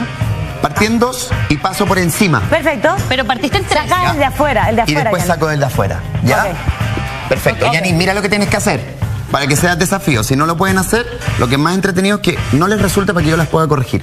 Ya, mira. pero esto era una ayudita porque el desafío Ya. es entre nosotros. Vamos, dale. Ya. Ok, entonces, dos y Dos, tres. y paso. Ya. Por Paso, arriba. Paso por arriba. em, y después, este lo paso así. ¡Ay! Vamos, vamos, vamos. La gente en su casa yo sé que le está ahí poniendo todo el empeño. Esto tiene que parecer una cola de pez. Eh, y ahora Puede este ser una cola de- Por arriba. Va a parecer una cola de no sé, pero, No, pero es- algo va a salir de esto.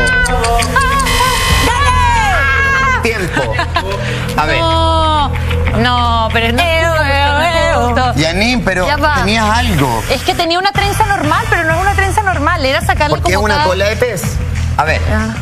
A Vamos ver. bien cerca de la cámara para que la Tengo gente una, pe- una cola de gato. en su casa vea cuál fue el error. A Partiste súper bien, porque la idea es agarrar de un lado, del otro y ir abriendo. Ajá. Pero después hiciste una trenza normal porque ya te ganó el tiempo. ¿Ya? ¿Viste? Lo mío en las partidas, chiquillas, ya sabes. Y por acá lo mismo. Oye, Claudito, te queremos agradecer por este tremendo desafío. Ya. Hay que practicarlo en casa con un poco más de calma, viendo Sí. el tutorial. No Con- en nerviosa. casa lo pueden ver y se lo pueden hacer para que vean que es algo simple y que es fácil. Estupendo. ¿Ya? Oye, te queremos agradecer. Gracias a ustedes. Mucho, mucho, cuídense. mucho. Gracias, cariño. Claudio Wilcán, nuestro estilista de cabecera. Cuéntenos nosotros, ustedes cuéntenos por Twitter cómo les fue con el desafío para ustedes también. Así si es. les salió la trenza, no, mándenos fotos. Oye, ¿qué vamos a ver ahora? Lux. Anoche mm, eh, se realizó tremendo evento en Santiago y tenemos todos los detalles de los looks de las famosas que acudieron. Vamos a revisarlo uno a uno. Completamente colección Batman, por supuesto. ¿Y tú escogiste la prenda o te la asignaron? Eh, sí, escogí entre varias, pero esta es la mía hoy, blanco y negro. Muy Kardashian. Muy Kardashian, total. Todas las curvas. Ahí estábamos viendo a Fernando Urrejola, que fíjate que no entendí qué era lo que tenía arriba. Era como un si era un Era, era, era el, el vest- el- la ropa, en el fondo la blusa, o no Era una blusa o chaqueta. vestido, no era, sé. era como un vestido Podemos ir viendo imágenes como de redondo y tenía un collar redondo también, ¿o no? A mí me dio la sensación de que era incorporado como a la blusa. Es Ah, que no ¿sí? se entiende, o, o claro, de repente es un efecto de la cámara. A través de la cámara uno no sabe si es un collar aparte o si es un accesorio accesorio que está muy de moda, las blusas o los vestidos que tienen el accesorio Ahí está, incorporado. mira, es un vestido. Es un vestido, claro, con el cinturón. Es como un collar, ¿viste? Parece que ¿O no? No sé, Como que le- fíjate. bueno, pero pero no está como demasiado cerrado, como yo demasiado. me recogería el pelo ahí, ¿o no? Si tiene, a mí, por lo menos lo que me han enseñado yo de moda, no sé mucho, pero lo que me han enseñado que cuando tú tienes un cuello hasta acá, lo mejor es o una trenza o recoger el pelo, subir para que tu cuello se vea más largo, ¿cachai? Y ella tiene el cuello largo. Oye, qué lindas las ¿Viste que juegan las sandalias. el Estas cuello? sandalias romanas que ahora vienen hasta. Hay que tener como bonito pie para lucir esas sandalias. No puedes tener unos dedos como eh, tortugas ninjas, todo apretado. Lindos pies. Bonita pedicure, Fernanda. Eh, y, y además necesitas como un cuerpo estilizado y saber caminarlo. Así Y que sin duda, Fernando Rejol es la indicada para llevar este tipo de vestido, este tipo de ¿Y la que viene a continuación? Cáchate, A mí me veamos. gusta, ella tiene un garbo de aquellos. Mi look, bueno, también para H&M. ¿Los zapatos también? Estas son las botas, sí, mira. Topísima. Topísima. ¿La pulsera también es H&M? Todo, mi amor, de pies a cabeza, hasta los calzones. Ah, este vestido, estaba leyendo hoy que ayer fue furor y Yeah. Se fue de una, porque este fue creo que se puso una de las Kardashian. Ah, mira O tú. Una modelo. La verdad es que lo leí como por arribita porque yo de ropa no leo mucho, pero vi que este vestido verde con esa forma fue uno de los que arrasó en la venta de H&M especial que hubo ayer. A ella le gusta que- mucho el verde. La hemos visto en, por ejemplo, en galas de, vista, eh, de Viña del Mar, vestida de verde. Es buena para el verde porque además como el, el color del cabello le sienta muy bien, le combina muy bien con el verde, le resalta los ojos y yo creo que lo hace estratégicamente para que los ojos ¡puf! como que tomen un brillo el- adicional. el escote me encanta como que cómo me, le queda. Como que me asusta. Yo no, no sé si me podría poner un escote tan abajo que se vean como la, la- la- no sé, como que me da cosilla. Pero mm, eh, el escote profundo, a mí me asustan más las lentejuelas que el escote. ¿En serio? A mí no, tengo- es que yo soy cubana, entonces, o, tengo mitad cubana, entonces mm, me gusta el brillo, la lentejuela, la luz. Eh, ahora, ¿El pelo que te gusta? También me iría al moño, fíjate, para seguir como esta línea de acá, y ella tiene un cuello largo. Si se hubiera hecho un moño acá arriba, bien paradito, como me gusta a mí, el- que yo me hago los moños siempre acá arriba, no acá atrás, acá arriba, bien arriba, yo creo que se habría visto así como sensacional, porque ahora se ve guapa, estupenda, sin ninguna discusión, pero ella tiene una, un, todo, todo alargado, entonces se habría visto más. Pero fíjate que a mí sí me gusta el pelo suelto porque como tiene demasiado brillo, es como, como demasiado bling bling. Me va a ir más simple para arriba. Ah, yo creo Más que así es más simple. Yo creo que así es más simple. Yo siento que es más limpia cuando tú tienes el pelo pegado hacia arriba, da una sensación más de, de limpieza que cuando tienes el pelo así como natural. Claro, ¿Cachai? comparto contigo en que un pelo liso y en moño puede que se vea más limpio, más pulcro, pero creo que no se ve más simple. Yo creo que el pelo suelto, así como desprolijo, como que un rulo que quiso ser pero no fue, eh, le da un carácter más de frescura que contrasta con ese armazón Sí, de lentejuelas Te que tiene. Fíjate que tiene hasta hombrera. de fresco. Volvieron las hombreras. Por eso, pero compensa, pues, compensa. Cuando tienes un pelo fresco y un vestido no fresco. Yo creo que demasiado. Voy aprendiendo acá demasiado contigo, te digo. Yo, esto- de lo que uno, igual que usted, amiga, en casa, uno hace el ejercicio de inventarse si te lo pondrías o no te lo pondrías. ¿Cómo harías para que te quede mejor? ¿Le queda bien o te gusta cómo le queda a Cata Pulido? A mí me encanta cómo le queda a ella. Creo que siempre lo luce bien. Fíjate que hay, uno puede conseguir en la farmacia, en las tiendas de.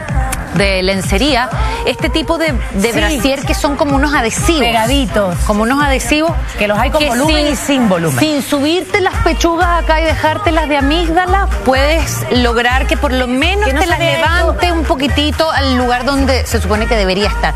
Yo creo, asusta yo creo que. Cata lo sabe de sobra que existen y me imagino que lo hace a propósito, Sí. dejárselo así para que se vea la caída natural, que se ve bonita, pero que de repente no le gustaría que esté un poquito más arriba. Sí, yo si me, me operara y me lo pondría más chiquitita, eh, yo ocup- ocuparía ese tipo de escote porque lo, me- lo encuentro muy lindo, pero Pero demasiado profundo. no, no, no puedo. no es el caso. Hoy vamos a revisar cómo fue Carola Jorquera, además entendida en la materia, eh, diseñadora de moda, de su propio Sí, vestuario, asesora también de moda. Vamos a ver cómo Carola Jorquera acudió a este evento, que era el evento de lanzamiento de la colección de Balmain de H&M. Guaso, chiquitito, cortita, en lentejuela, jeans, a la cintura, limpio, un poquito fleur, un poquito abierto, no necesariamente pata elefante, porque encuentro que no son los sentadores de, de eso. Y. ¿Alguna marca? Casual, como soy yo. Ese casual no es muy casual, yo creo, ¿no? Mía, yo soy así. Yo soy crespa. Si tú te levantas, eres así. Yo me lavo el pelo y quedo así. Cuando no me lo lavo, estoy lisa. Sí, pero ¿sabes qué? Aquí, aquí, por ejemplo, yo te diría si ella fuera cubana, sería más aceptado. ¿Qué? Porque ¿no te fijaste que la blusa era como guarapeteada y la, y la chaqueta, ¿cachai? Brillo. Eh, eh, ¿Qué es guarapeteada? Rayada. Definamos guarapeteada. Raya- Oye, se le quedó el foto en la casa. No, no, perdón. Eh, las rayas, ¿cachai? Ajá. Las rayas y después la chaqueta da la sensación de más textura, de más volumen, de más. de más too much. Ajá. Los zapatos, divinos. Los jeans, bien. La, la chaqueta era verde también, tiene como... ¿Sabes lo que pasa? Que hay gente, no sé si comparte, hay gente que se, atie- se atreve o se arriesga a hacer este tipo de combinaciones Sí, y y, a ella le queda bien. Uno Pero no. uno se pone eso mismo y uno cree que la está, bueno, rompiendo, Rompiendo, y resulta que queda como la peor vestida de la noche. Exacto. ¿No te parece? mira, fíjate que. eh, Me encantaron A pesar de que a mí me gustan los colores, me gusta todo con movimiento, ¿qué?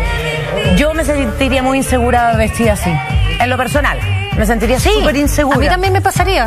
Que, que siento que la lentejuela con la raya, con el zapato de Es otro color, info. es demasiada información variada. Pero uno la ve a Y se ella. la chaqueta. Pero Mira. fíjate qué importante, qué importante la seguridad o que te creas Sí, el cuento. Porque si uno llega insegura como, ay, estos zapatos no me combinan con esta camisa Se o con esta blusa de raya y, y la cosa de lentejuela, te apuesto que saldrías Se como la peor vestida. Sí, en Pero vez de cambio, Carola mira, ¿cachai que Jorquera- La Carola Jorquera tiene, tiene mucho garbo también. Pero mira, si tú estás insegura, lo típico es que hagas así como. Ah, como cuando entras así pidiendo perdón. Sí. Ya. ¿Cachai? Pero ella. En cambio, entrar segura, entrar Claro. segura ahí. De hecho, ¿saben qué, chica? Eso marca la diferencia en toda, en todos los ámbitos de la vida. Si tú vas a entrar a una reunión de trabajo, no puedes entrar así como, hola, ¿qué tal? ¿Cómo están? Mi nombre es. May. No, yo me acuerdo yo quedaba de promotora en todos los, en todos los castings porque yo entraba, estaba recién llegada. Entonces, Ok, así, casting. Hola, ¿qué tal? ¿Cómo están, chicos? Mi nombre es May Santa María y vendo lo que ustedes digan. Ya. Y los globos quedaban así. Y detrás de mí habían chicas muy lindas, pero que entraban así, mira. Hola. Desgarbás. Eh, ¿Dónde me siento? Eh, ¿Dónde? Claro. No. Ustedes, aunque vayan con un saco de papa, han visto los modelos. Muchas veces uno ve los desfiles de Milán y todo. Y tú te dices, yo no me pondría esa ropa ni loca. Y están las flacas así. Como si fuera lo mejor del mundo. Y tú la miras y dices, yo no me pongo ese saco ni muerta. ¿Cachai? Pero la actitud de la mina Te es la como tienes que creer. le das elegancia a lo que tienes puesto, Sí, ¿cachai? te la tienes que creer. ¿Cómo caminas tú, por ejemplo, cuando vas a una entrevista de trabajo? Yo no Cuando sé. quieres conseguir algo. Cuando quiero conseguir algo, no fíjate Mira, que vamos a cambiarlo. Yo no sé si entraría tan arrolladora a una reunión. No, pero- depende, depende con quién Ya, te vas ¿cómo a entrarías a una reunión? No, entraría Yo primero. soy, yo soy, yo soy la bruja. Ya. Entra en la reunión. Ok. Entro. Sí. Primero, educada siempre. Tocando la puerta antes de entrar y llego haciendo. Ah, que yo no toqué, yo entreno. Claro, tú entraste como Pedro por tu casa. Yo tocaría la puerta antes de- antes de Ajá, entrar. importante. Y cuando me dan la indicación, Pase. sí, pase, abro la puerta. Hola, ¿cómo estás? Mucho gusto, Janine Leal. Pero ¿cachai que tienes seguridad al hacer esto de mucho gusto? ¿Cachai? Claro. como un... También hay que evitar esto, a toda costa. Siempre, chicas, adelante, sea lo que sea lo que hay adelante, ¿ah? Poquito, mucho, regular, arriba, abajo, caída, no importa. Ustedes saquen contacto visual, yo creo que es tremendamente importante. los ojos. Y acercarte a la persona sin avasallar. O sea, sin que la persona sienta que ah, te le vas a ir encima. Es que yo soy un poquito, pero un poquito nada más avasalladora. Ok, Yo iría como como un paso seguro, pero pero pero controlada. controlada. Hola, ¿cómo estás, May? Un, eh, un gusto conocerte, soy Annie Leal. Así, Segura. Y, y después, después de que te saludo, tomo distancia otra vez para mirarte la cara, para no quedarme así como. Ah, no, eso no lo hago, yo no me cuelgo. De hecho, ni como- siquiera los saludo de beso. Ah, ¿no como, de beso? No, hola, ¿qué tal? ¿Cómo están? Mucho gusto. Ah, no, yo sí saludo de beso de uno. No, Ah, por lo menos para ver a mucho. huele. Hola. Mucho, pero ya, pero en el caso que sea un hombre, porque las mujeres que nos están mirando, capaz que sean Ajá. solteras, ¿verdad? ¿Y qué pasa si a donde vas es a una junta de amigos y está el chico que te gusta? ¿Cómo entras? Lo Estamos acá ignoro. todos con los amigos. No, saluda al resto. Ya, pero más, más para allá, vas para allá, vas para allá, vas para allá. Si está acá, el chico, acá está el chico que te gusta, acá nosotros, así. Y estoy yo, que soy súper envidiosa. Hay que decirlo. Ah, soy entonces no eres amiga mía. Entonces no no, yo no amiga. soy amiga tuya. Ah, ya, no eres soy amiga mía. tuya, Entonces yo no soy la polola del amigo que te gusta. Pero yo sé que tú trabajas en la tele, que eres rubia, que eres guapa, que eres estupenda. Pucha, que me la estás Y soy poniendo una difícil. pica, soy una pica porque estoy. Porque, porque no me gusta, porque eres muy linda para que estés en el grupo de mis amigos. Ah. Ya, esa es la primicia. Ok, Vamos. bueno, yo creo que parti- partiendo por ese tremendo eh, espanto que me acaba de describir, yo saludaría igual. Hola, hola, ¿cómo estás? Hola, May, ¿qué tal? Mm, un gusto. Hola, fulano, hola, ¿qué tal? Y lo saludaría y te doy la espalda inmediatamente, ahí, porque sé que me estás lanzando todos los cuchillos. Esta y así, la tuya, la tuya. ¿Cómo puede tener ese cuerpo, Dios mío? Qué atroz.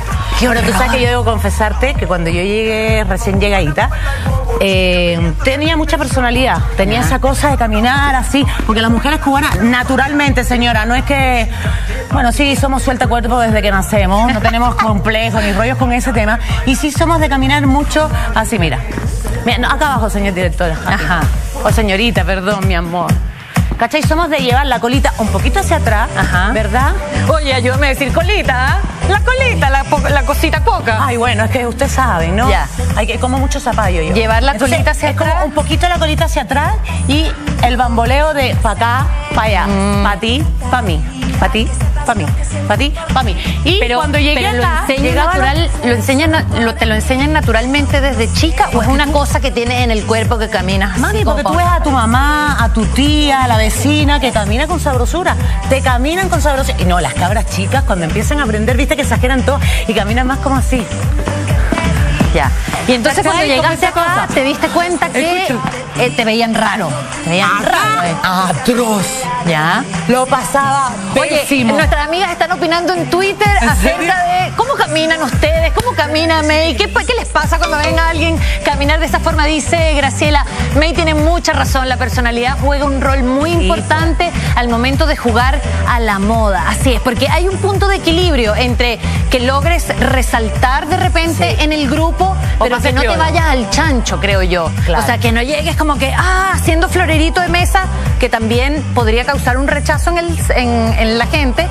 Pero la, la idea sería como lograr que a lo menos la gente te mire Se cuando fije, llegues. ¿Cómo hacerlo? ¿Cómo lograrlo? May Santa María nos va a darlos todos sus trucos y sus tips luego de una brevísima pausa comercial. ¡No se vayan! Ya volvemos. Vamos a, seguir eh, revisando algunos tweets, también eh, a las famosillas que acudieron anoche a este tremendo evento, cómo fueron vestidas, bien, mal, acertaron o no. Esto tiene que ver también un poco con la personalidad, con cómo enfrentas ese momento, cómo llegas a un sitio donde quieres resaltar, con qué actitud, con qué impronta, cómo ir vestida. Hay Porque muchas cosas que usted tiene que tener en Porque cuenta. de hecho dicen que no hay eh, una segunda oportunidad para dar una primera impresión. Exactamente, vamos a revisar con el look de Vale Ortega. Veamos. Este vestido es de Tommy Hilfiger, eh, pero es mío. O sea, de, la, ahí, lo, ahí lo adquirí, digamos. ¿Y por qué lo cogiste para este evento? Porque creo que, a ver, igual Balmain es un estilo bastante recargado. Sentí que un vestido de lentejuelas ya era lo suficientemente recargado, así que dije, bueno, entremos en la onda. Y elegí este vestido además por los colores que tiene y que dentro de todo es un corte súper sencillo, pero es súper eh, juvenil, es corto y y le puedes poner los zapatos que sea y, y el zapato que uses le va a dar el, el- el- el tono, digamos. Porque si me ponía zapatos altos era como más elegante, pero al ponerme botines le hace, le, le baja un poquito, le pone un rojo. Oh, Mira, ahí estamos. Ahí está la Vale. Ajá. Eh, Nervio. Pero primero vamos a ir a un tweet para pensar bien lo que voy a decir. calma, calma. Dice, mm, a ver, dice, estoy tomando apuntes. Sigan hablando de la personalidad, dan muy buenos consejos. Y justamente de consejos vamos a hablar en un ratito más con una kinesióloga con la que vamos a conversar acerca de esto de la postura. De la postura, De caminar como caminabas tú, May, con el potito parado, con la cola así, con la cadera como caminando. Mira, si tampoco hay que ser ¿Cómo una que caricatura. Claro. No hay que ser una cosa así que tú vayas por la calle porque también no se estila en este país. Entonces, a mí me Hay que enseñaron... ubicarse, hay que a- ubicarse. exacto, a donde fueres, haz lo que vieres, dicen por ahí. Eso es un Pero buen o un mal consejo, Yo fíjate. lo que te iba a contar, vamos al tiro con la Vale, no se nos va a ir del- de, de la memoria, pero cuando yo llegué y empecé a cachar que tenía muchos anticuerpos con las mujeres, ¿qué empecé a hacer? Me dejé de poner escote, yo en mi vida real ni me pongo minis así cortitas por nada del mundo, ni me pongo escote pronunciado. Y empecé como a bajarme un poquito, ¿cachai? Entonces ya no llegaba O sea, así. cambió la May Santa María que vivía en Cuba a la May Santa María que se instaló en Chile y que vio Absolutamente. que había un entorno que no aprobaba la mini de, de, de acá de... No, y a mí no me gustan tampoco. A mí me gusta para trabajar, para verme mini, que sé yo, un ratito juego con eso. Pero para la vida real, no. Ahora sí. Vamos a revisar un tuit de alguna de las amigas que están escribiendo y compartiendo con nosotros su comentario. Estoy tomando apunte. Este es lo que acabamos de ver. Sigan hablando de la personalidad, dan muy buenos consejos. Sí, ok. sí, Nos este lo- lo decía May. Que en el fondo uno baja un poquito, no tienes que ser tan avasalladora como tú decías, porque yo de verdad sé que tengo una característica eh, de que mi forma de ser, mi forma de hablar, mi forma de expresarme es como. Además, perdón, llegaste de Cuba directo a Chile. Y no, o sea, era como el otro extremo. A mí me pasó que fui bajando, porque yo viví primero en Ecuador, después fui a Colombia, después fui a Perú. a otras culturas. Y vas viendo que ciertamente cada país con su idiosincrasia tiene una forma en la que acepta o no acepta bien cambios tan bruscos, cambios tan drásticos.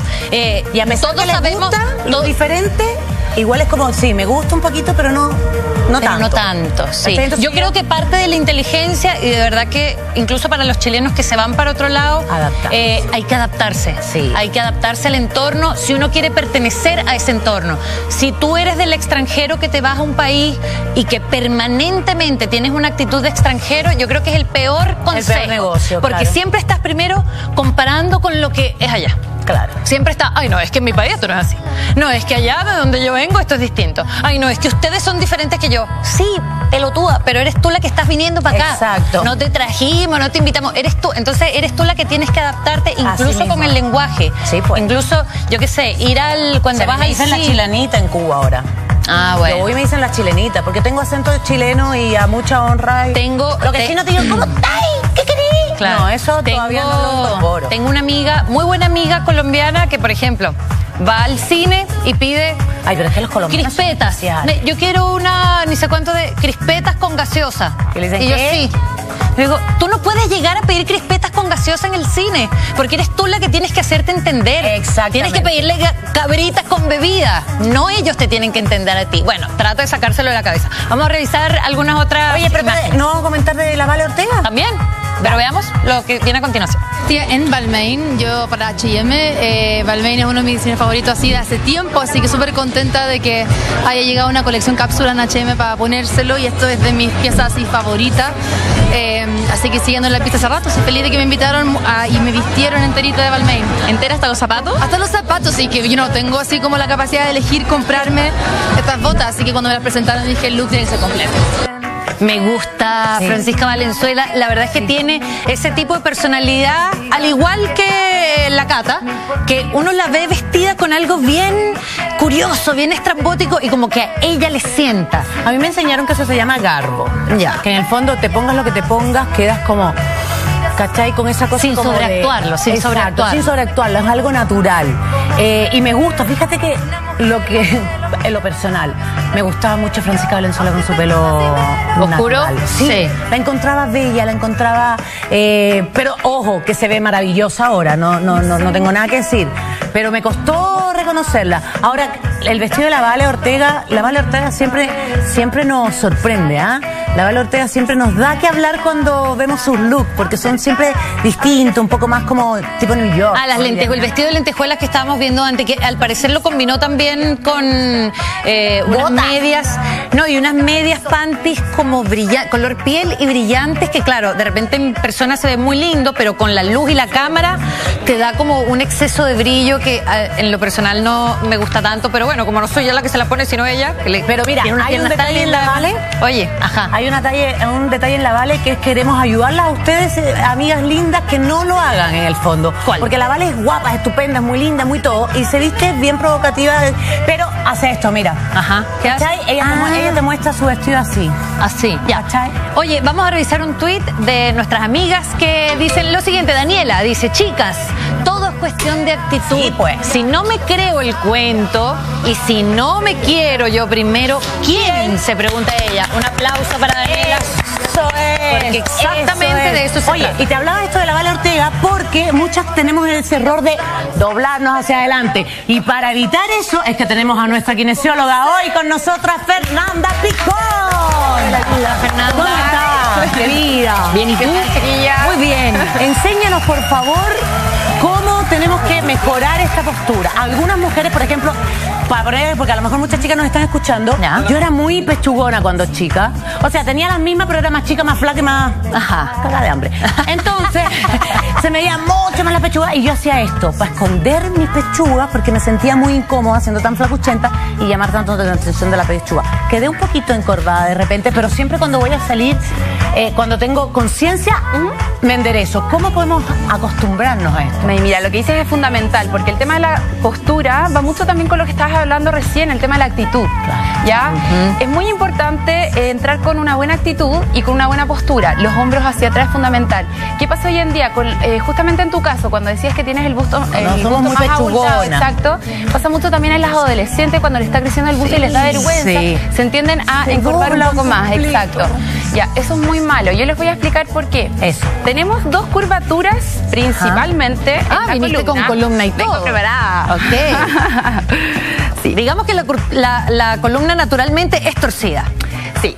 Lo que pasa es que nosotros principalmente tenemos como dos curvaturas. Una que es como hacia adentro y la otra que es como hacia afuera. Ajá. ¿ya? La lumbar y la Entonces, dorsal. Exacto. May, ¿Me sirves de modelo al Pero por supuesto. Ah, yo te voy a agarrar el- ahí, el- ahí, mirando para allá. Eso, en el fondo esto estaría acá. Ajá. Si ustedes se fijan, la curvatura cervical Ajá. tiene esta forma. A esto nosotros le llamamos lordosis, al igual que la columna lumbar. ¿Cuál es la lordosis? La lordosis es cuando esto se hunde aquí. Ok, aquí cuando está la la- lordosis y aquí está la sifosis. Es como esa forma. Ok.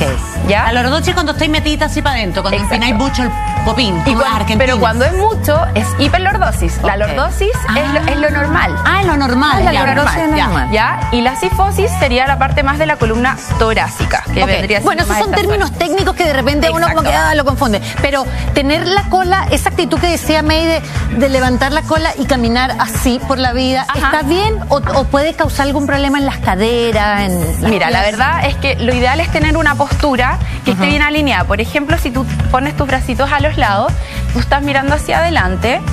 Cuando esto está muy levantado, causa problemas. Ajá. ¿Ya? La hiperlordosis, ¿por qué? Porque disminuye los espacios de la Claro. columna.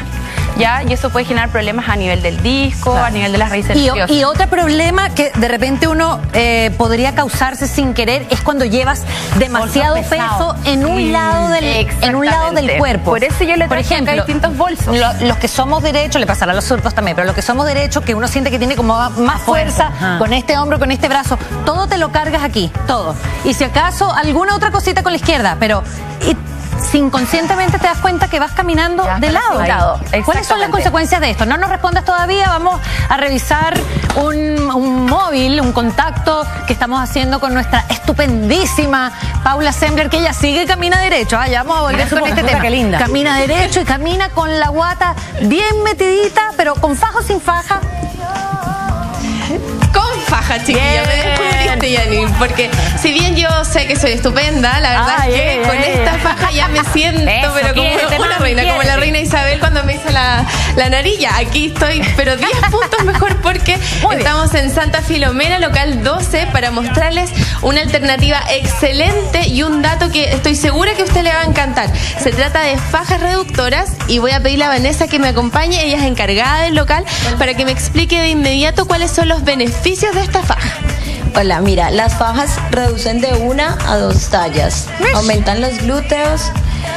eh, encima de la ropa no se ve, no se nota. Lo pueden utilizar con jeans, vestidos, faldas. De hecho, mire, la Vanessa es estupenda sin duda alguna, pero ella tiene puesta una faja y mire la cintura que se le No, ve. no, no, no, eso es una falta de Envidiable. respeto para nosotras. ¡Mardita! Mira esa cola. Oiga. No, oiga, pero esa cola también tiene un pequeño secreto, ¿cierto? A ver, y está sí. justamente en uno de los maniquí, mire. Acá lo podemos ver. Vanesita, cuéntenos. Así que no era suya. Esto trae estos, estos rollitos, estos hoyos, que me es lo que ayuda a hacer levantamiento de glúteos. Tráeme tres de esas, por favor. Una en negro, una en blanco y una en beige. Ya, perfecto. En todos colores se lo llevo. Y en dirección tienen mi foto del antes. Yo de cintura tengo alrededor de 78 más o menos. Y con esta faja quedé de inmediato, en un segundo, en 71 centímetros. Mire, por favor, veamos el antes y el después. ¿Qué le parece? 7 centímetros solo con la faja. Impresionante. Oye, de una. impresionante. Y lo mejor de todo es que la faja no solamente ayuda con el tema de la cintura, sino que realza el busto, hace que todo quede en su lugar donde estaba antes del embarazo. Ah, y como está ahí apretada, hasta la respiración te cambia. Respiras así. Exacto. Paula, ¿puedes respirar bien? ¿Te puedes mover o te sientes demasiado apretada, incómoda, inconfortable? Voy a ser súper sincera, la verdad es que igual es extraño, porque como estoy tan derecha, mis músculos como que se están acomodando un poco, pero respiro perfecto. O sea, ¿qué, talla eres? no En- tenemos En faja, ¿qué talla te recomendaron? Porque de repente es un tema de, de elegir una talla primero y después ir eh, modificando la talla hasta una más chica. Exactamente, yo me puse ahora una talla M, pero creo que si ocupo esto por lo menos una semana voy a reducir a ese de inmediato, ¿cierto? Porque además las fajas ayudan después con el uso y con el tiempo a reducir efectivamente centímetros, ¿cierto, Vanesita? Venga para acá. ¿Será? y en caso de... también a moldear la cintura y bajar de peso. Oye, pero en caso de las mujeres que fueron mamá, ¿cachai? Que hemos sido mamá, que eh, a lo mejor no engordamos mucho, pero sí se nos soltó todo en la vida. ¿Qué talla deberíamos ocupar? ¿Una menos, dos menos? ¿Es recomendable inmediatamente después del embarazo comprarte esta faja y ponértela o mejor después de un tiempo? Preguntémosle a la especialista aquí de inmediato, cuéntanos. Es, Eh, momento, por favor, Paula, un segundo. Un, dos, tres, congelado. Vamos acá a una pausa comercial y ya volvemos. Aquí en Mujeres Congeladas. voy a contar lo que sucedió, mami, hoy. Enlazados con Paula Sembler que nos estaba mostrando unas fajas colombianas maravillosas que prometen reducir un poco la cintura y ayudarte a mejorar a lo menos la postura corporal. Cuéntanos, Lo más querida. importante, si van de Oye, mujeres primero, exactamente ¿cuánto porque los cuánto? sueños se cumplen, chiquilla. Imagínense tener 80 de cintura y en un segundo tener 10 centímetros menos. Es un sueño, ¿no? Y de verdad que se cumple porque yo soy testigo de eso. 79 de cintura y aquí en este momento tengo 71. En un segundo, mire qué tal. Bella, Yo cuando me pongo de lado parece que tuviera como 3 meses de embarazo y ahora nada. ¿Cuántas horas al día, Paula, se recomienda tenerlas puestas? ¿Cuántas horas al día máximo? Porque todo en exceso es malo, lo Preguntémosle al sabemos. tiro a Vanesita. ¿Cuántas horas al día? ah, perdón, perdón, perdón. ¿Cuántas horas al día es necesario tener estas fajas para ver algún resultado? Mira, se puede utilizar a diario y descansar en la noche. O sea, Todo el tenerlo todo el día puesto. puesta. Y si van de parte de mujeres primero, ¿qué descuento hay? Eso es lo más importante en este minuto, Paula. Si vienen de mujeres primeros, le vamos a hacer el 10% de descuento. Eso, Eh, conseguimos un descuento. Bien, bien, bien. Eso. Muchas gracias, Oiga, chiquillos, yo le quiero mostrar en vivo y en directo cómo se ve una faja. Pues cuénteme cuáles son los beneficios de esta faja que es completa. Mira, esta es completa. Si la persona es muy bustona y no quiere que la faja le aumente el busto, trae sostén. Eso, mira, Paula, le hagamos una cosa. 5 a 10 centímetros de Tráeme, tráeme Dígame, una de esas, porque esa es más completa, ya, porque tengo un matrimonio y te agradecemos muchísimo por estos excelentes datos, pero para aquellas mujeres que no les gusta usar faja, ¿verdad? Tenemos un ejercicio muy simple que nos va a decir nuestra kinesióloga. ¿Cómo estás? Sí, mira, eh, les cuento un poco el tema de la postura. Va a ser básicamente apretar el abdomen. Ok. Ya, nosotros necesitamos estabilizar. También es muy recomendado, por ejemplo, el yoga, el pilates, etcétera. El Bikram. Exacto. Entonces, apretar el abdomen es fundamental, en especial para, por ejemplo, las personas que tienen hiperlordosis, como May. Entonces, como la pelvis se va hacia adelante, nosotros mediante los abdominales vamos a llevar la pelvis hacia atrás y vamos a aliviar justamente de repente dolores lumbares que ella pueda tener. Y, y eso es un ejercicio con cierto tiempo, digamos, Eh, por de ejemplo, práctica, por o, o recomiendas mantenerse siempre con el abdomen Sí, apretado. lo ideal es que se mantenga, se haga algo más constante. Entonces, mantener eh, la, la, guatita apretadita. Tú sabes que una amiga me decía, eh, tiene unos abdominales maravillosos y me dijo, eh, siempre, desde chiquitita, enseñemos a nuestras hijas a no, a no soltar, sino a apretar. Y es un ejercicio que puedes hacer constantemente y Así sabes es. que Sencillo. pasáis el resto de tu vida con el guatito Sobre todo cuando llevas peso, por ejemplo en las mochilas, si tú estás llevando mucho peso, estás con, con ruedita Por ejemplo... Y esta, ponérsela a las dos, man- las dos mangas. ¿verdad? Para estar así. Por ejemplo, acá, importante, ponerse la mochila bien apretadita, aquí, y que tengan doble te quede correa. Ya, Eh, eso es lo fundamental cuando están llevando harto peso. Ok, O también vamos a revisar un tuit, mi querida. Constanza, mientras tú nos haces excelentes recomendaciones. Y di... Ay, Fernanda, perdón, siempre te cambio el nombre. Consuelo Jorquera nos dice lo siguiente: Yo estoy operada de escoliosis y me cuesta mucho caminar derecha, porque a veces me duele la espalda. ¿Qué puedo hacer para caminar? No nos responda. Mira, básicamente la escoliosis, para que ustedes entiendan, es cuando la curvatura se pone como más en S, por decirlo así. Se a altera los lados. hacia los lados, puede ser Perfecto. también en posición de C. Lo que es fundamental en los casos de escoliosis es que vea a un quiropráctico.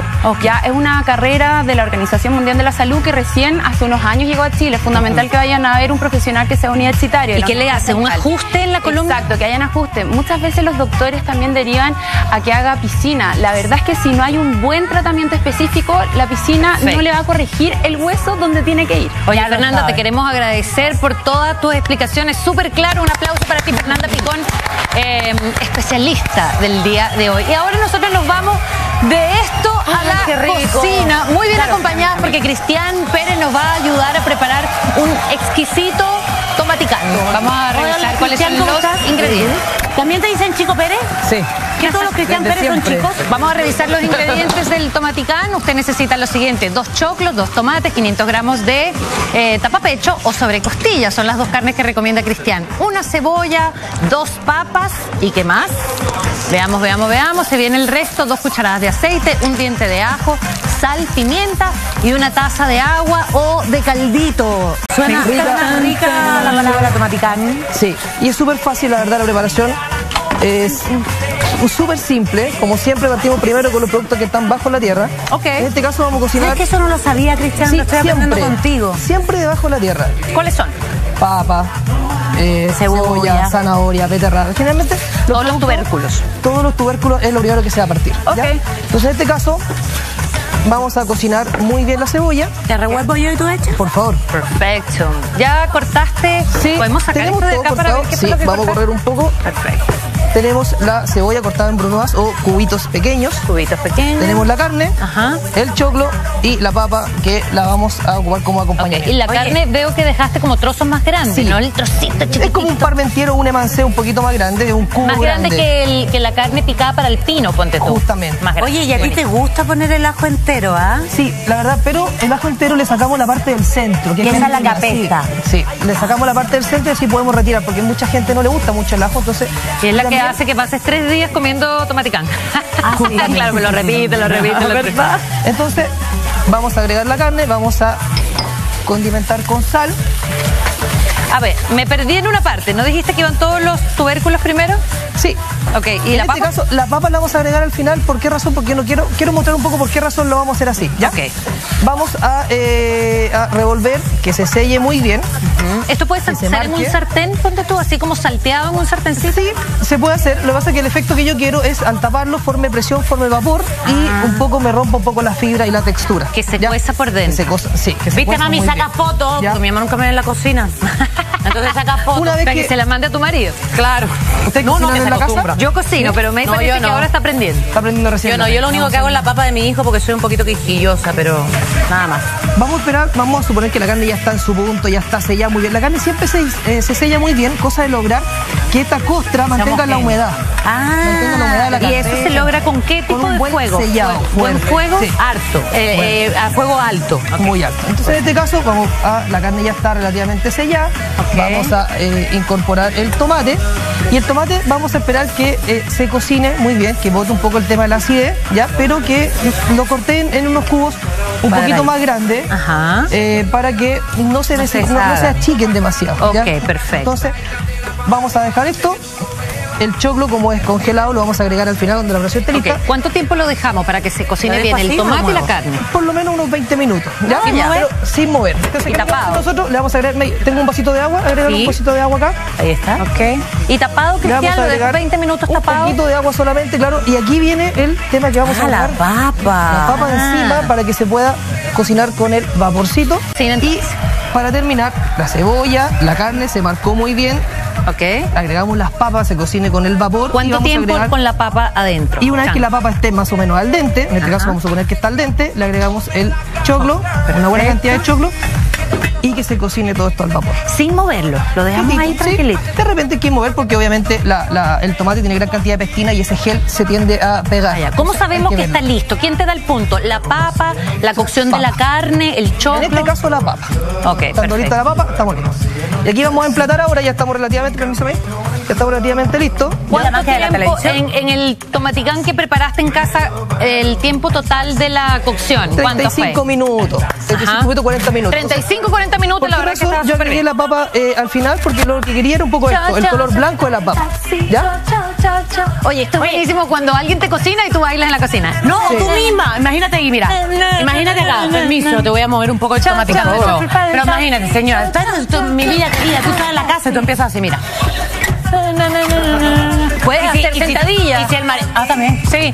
Cho, cho, chofer para el taxi. Cho, cho, cho, cho, chofer para el taxi. Y fíjate que esto sirve para el chayito también. ahí. Y lo revuelve. ah, Esta es buena, esta es buena. Revuelve y hace sentadilla. O cintura, para volver a tener estos movimientos acá. La cintura que perdiste alguna vez. Oye, qué rico.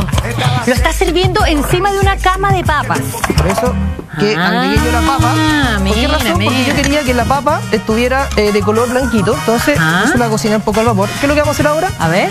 Súper simple. Vamos a poner, vamos a acompañarlo con un tomate un poquito fresco. Que la idea es, estamos ya entrando en época de tomate. Entonces, Hay que aprovechar el tomate. Aprovechando un Ahora lo más importante, Yani. ¿Qué? ¿Qué cosa? Los cubiertos para probarlos. Eh, eh, eh, Ahí está, viene. ven, pasa, chico. Pase, Jorgito, pase para acá, muy bien. Chin, chin, chin, chin, chin, Vamos a acompañar con Toma. un poco, un poco de hojas que siempre le dan luz a la preparación y también la albahaca A eso uno muy bien. siempre se le olvida, decorar el plato. A nadie se le ocurre ponerle una ramita verde que siempre le da tanto por color y sí. bonito. Si a mí me cuesta cocinar, imagínate decorarlo. y con lo, lo hambrienta que soy, nunca hay tiempo. De la olla, siquiera, claro. Oye, ¿Tú está calentito este, ¿no? Mi vieja siempre me reta porque yo cuando algo me gusta, fíjate que te vas a dar cuenta solo porque es algo que me sale naturalmente. Cuando algo me gusta, lo pruebo y empiezo así. mm, Como que bailo mientras lo como ¿En porque me gusta. Como que todo mi cuerpo risa. lo acepta. Lo disfruta. Así que vamos a ver si funcionó con Listo este tomaticán. Un aplauso para Cristian. Y vamos a ver si pasa la prueba de la frescura acá con May. Está bonito, está bonito, está bonito. Sí, claro. Un saludo a mis amigos del sur, ya que siempre me reciben tan bien, así que un saludo a todos mis amigos de Panguipulli. Un Y saludo yo a también, todos. de Panguipulli, yo también voy a Panguipulli. Oye, y a mi hermano Jorge Luis Santa María, que estuvo de cumpleaños, I love you so much, baby boy.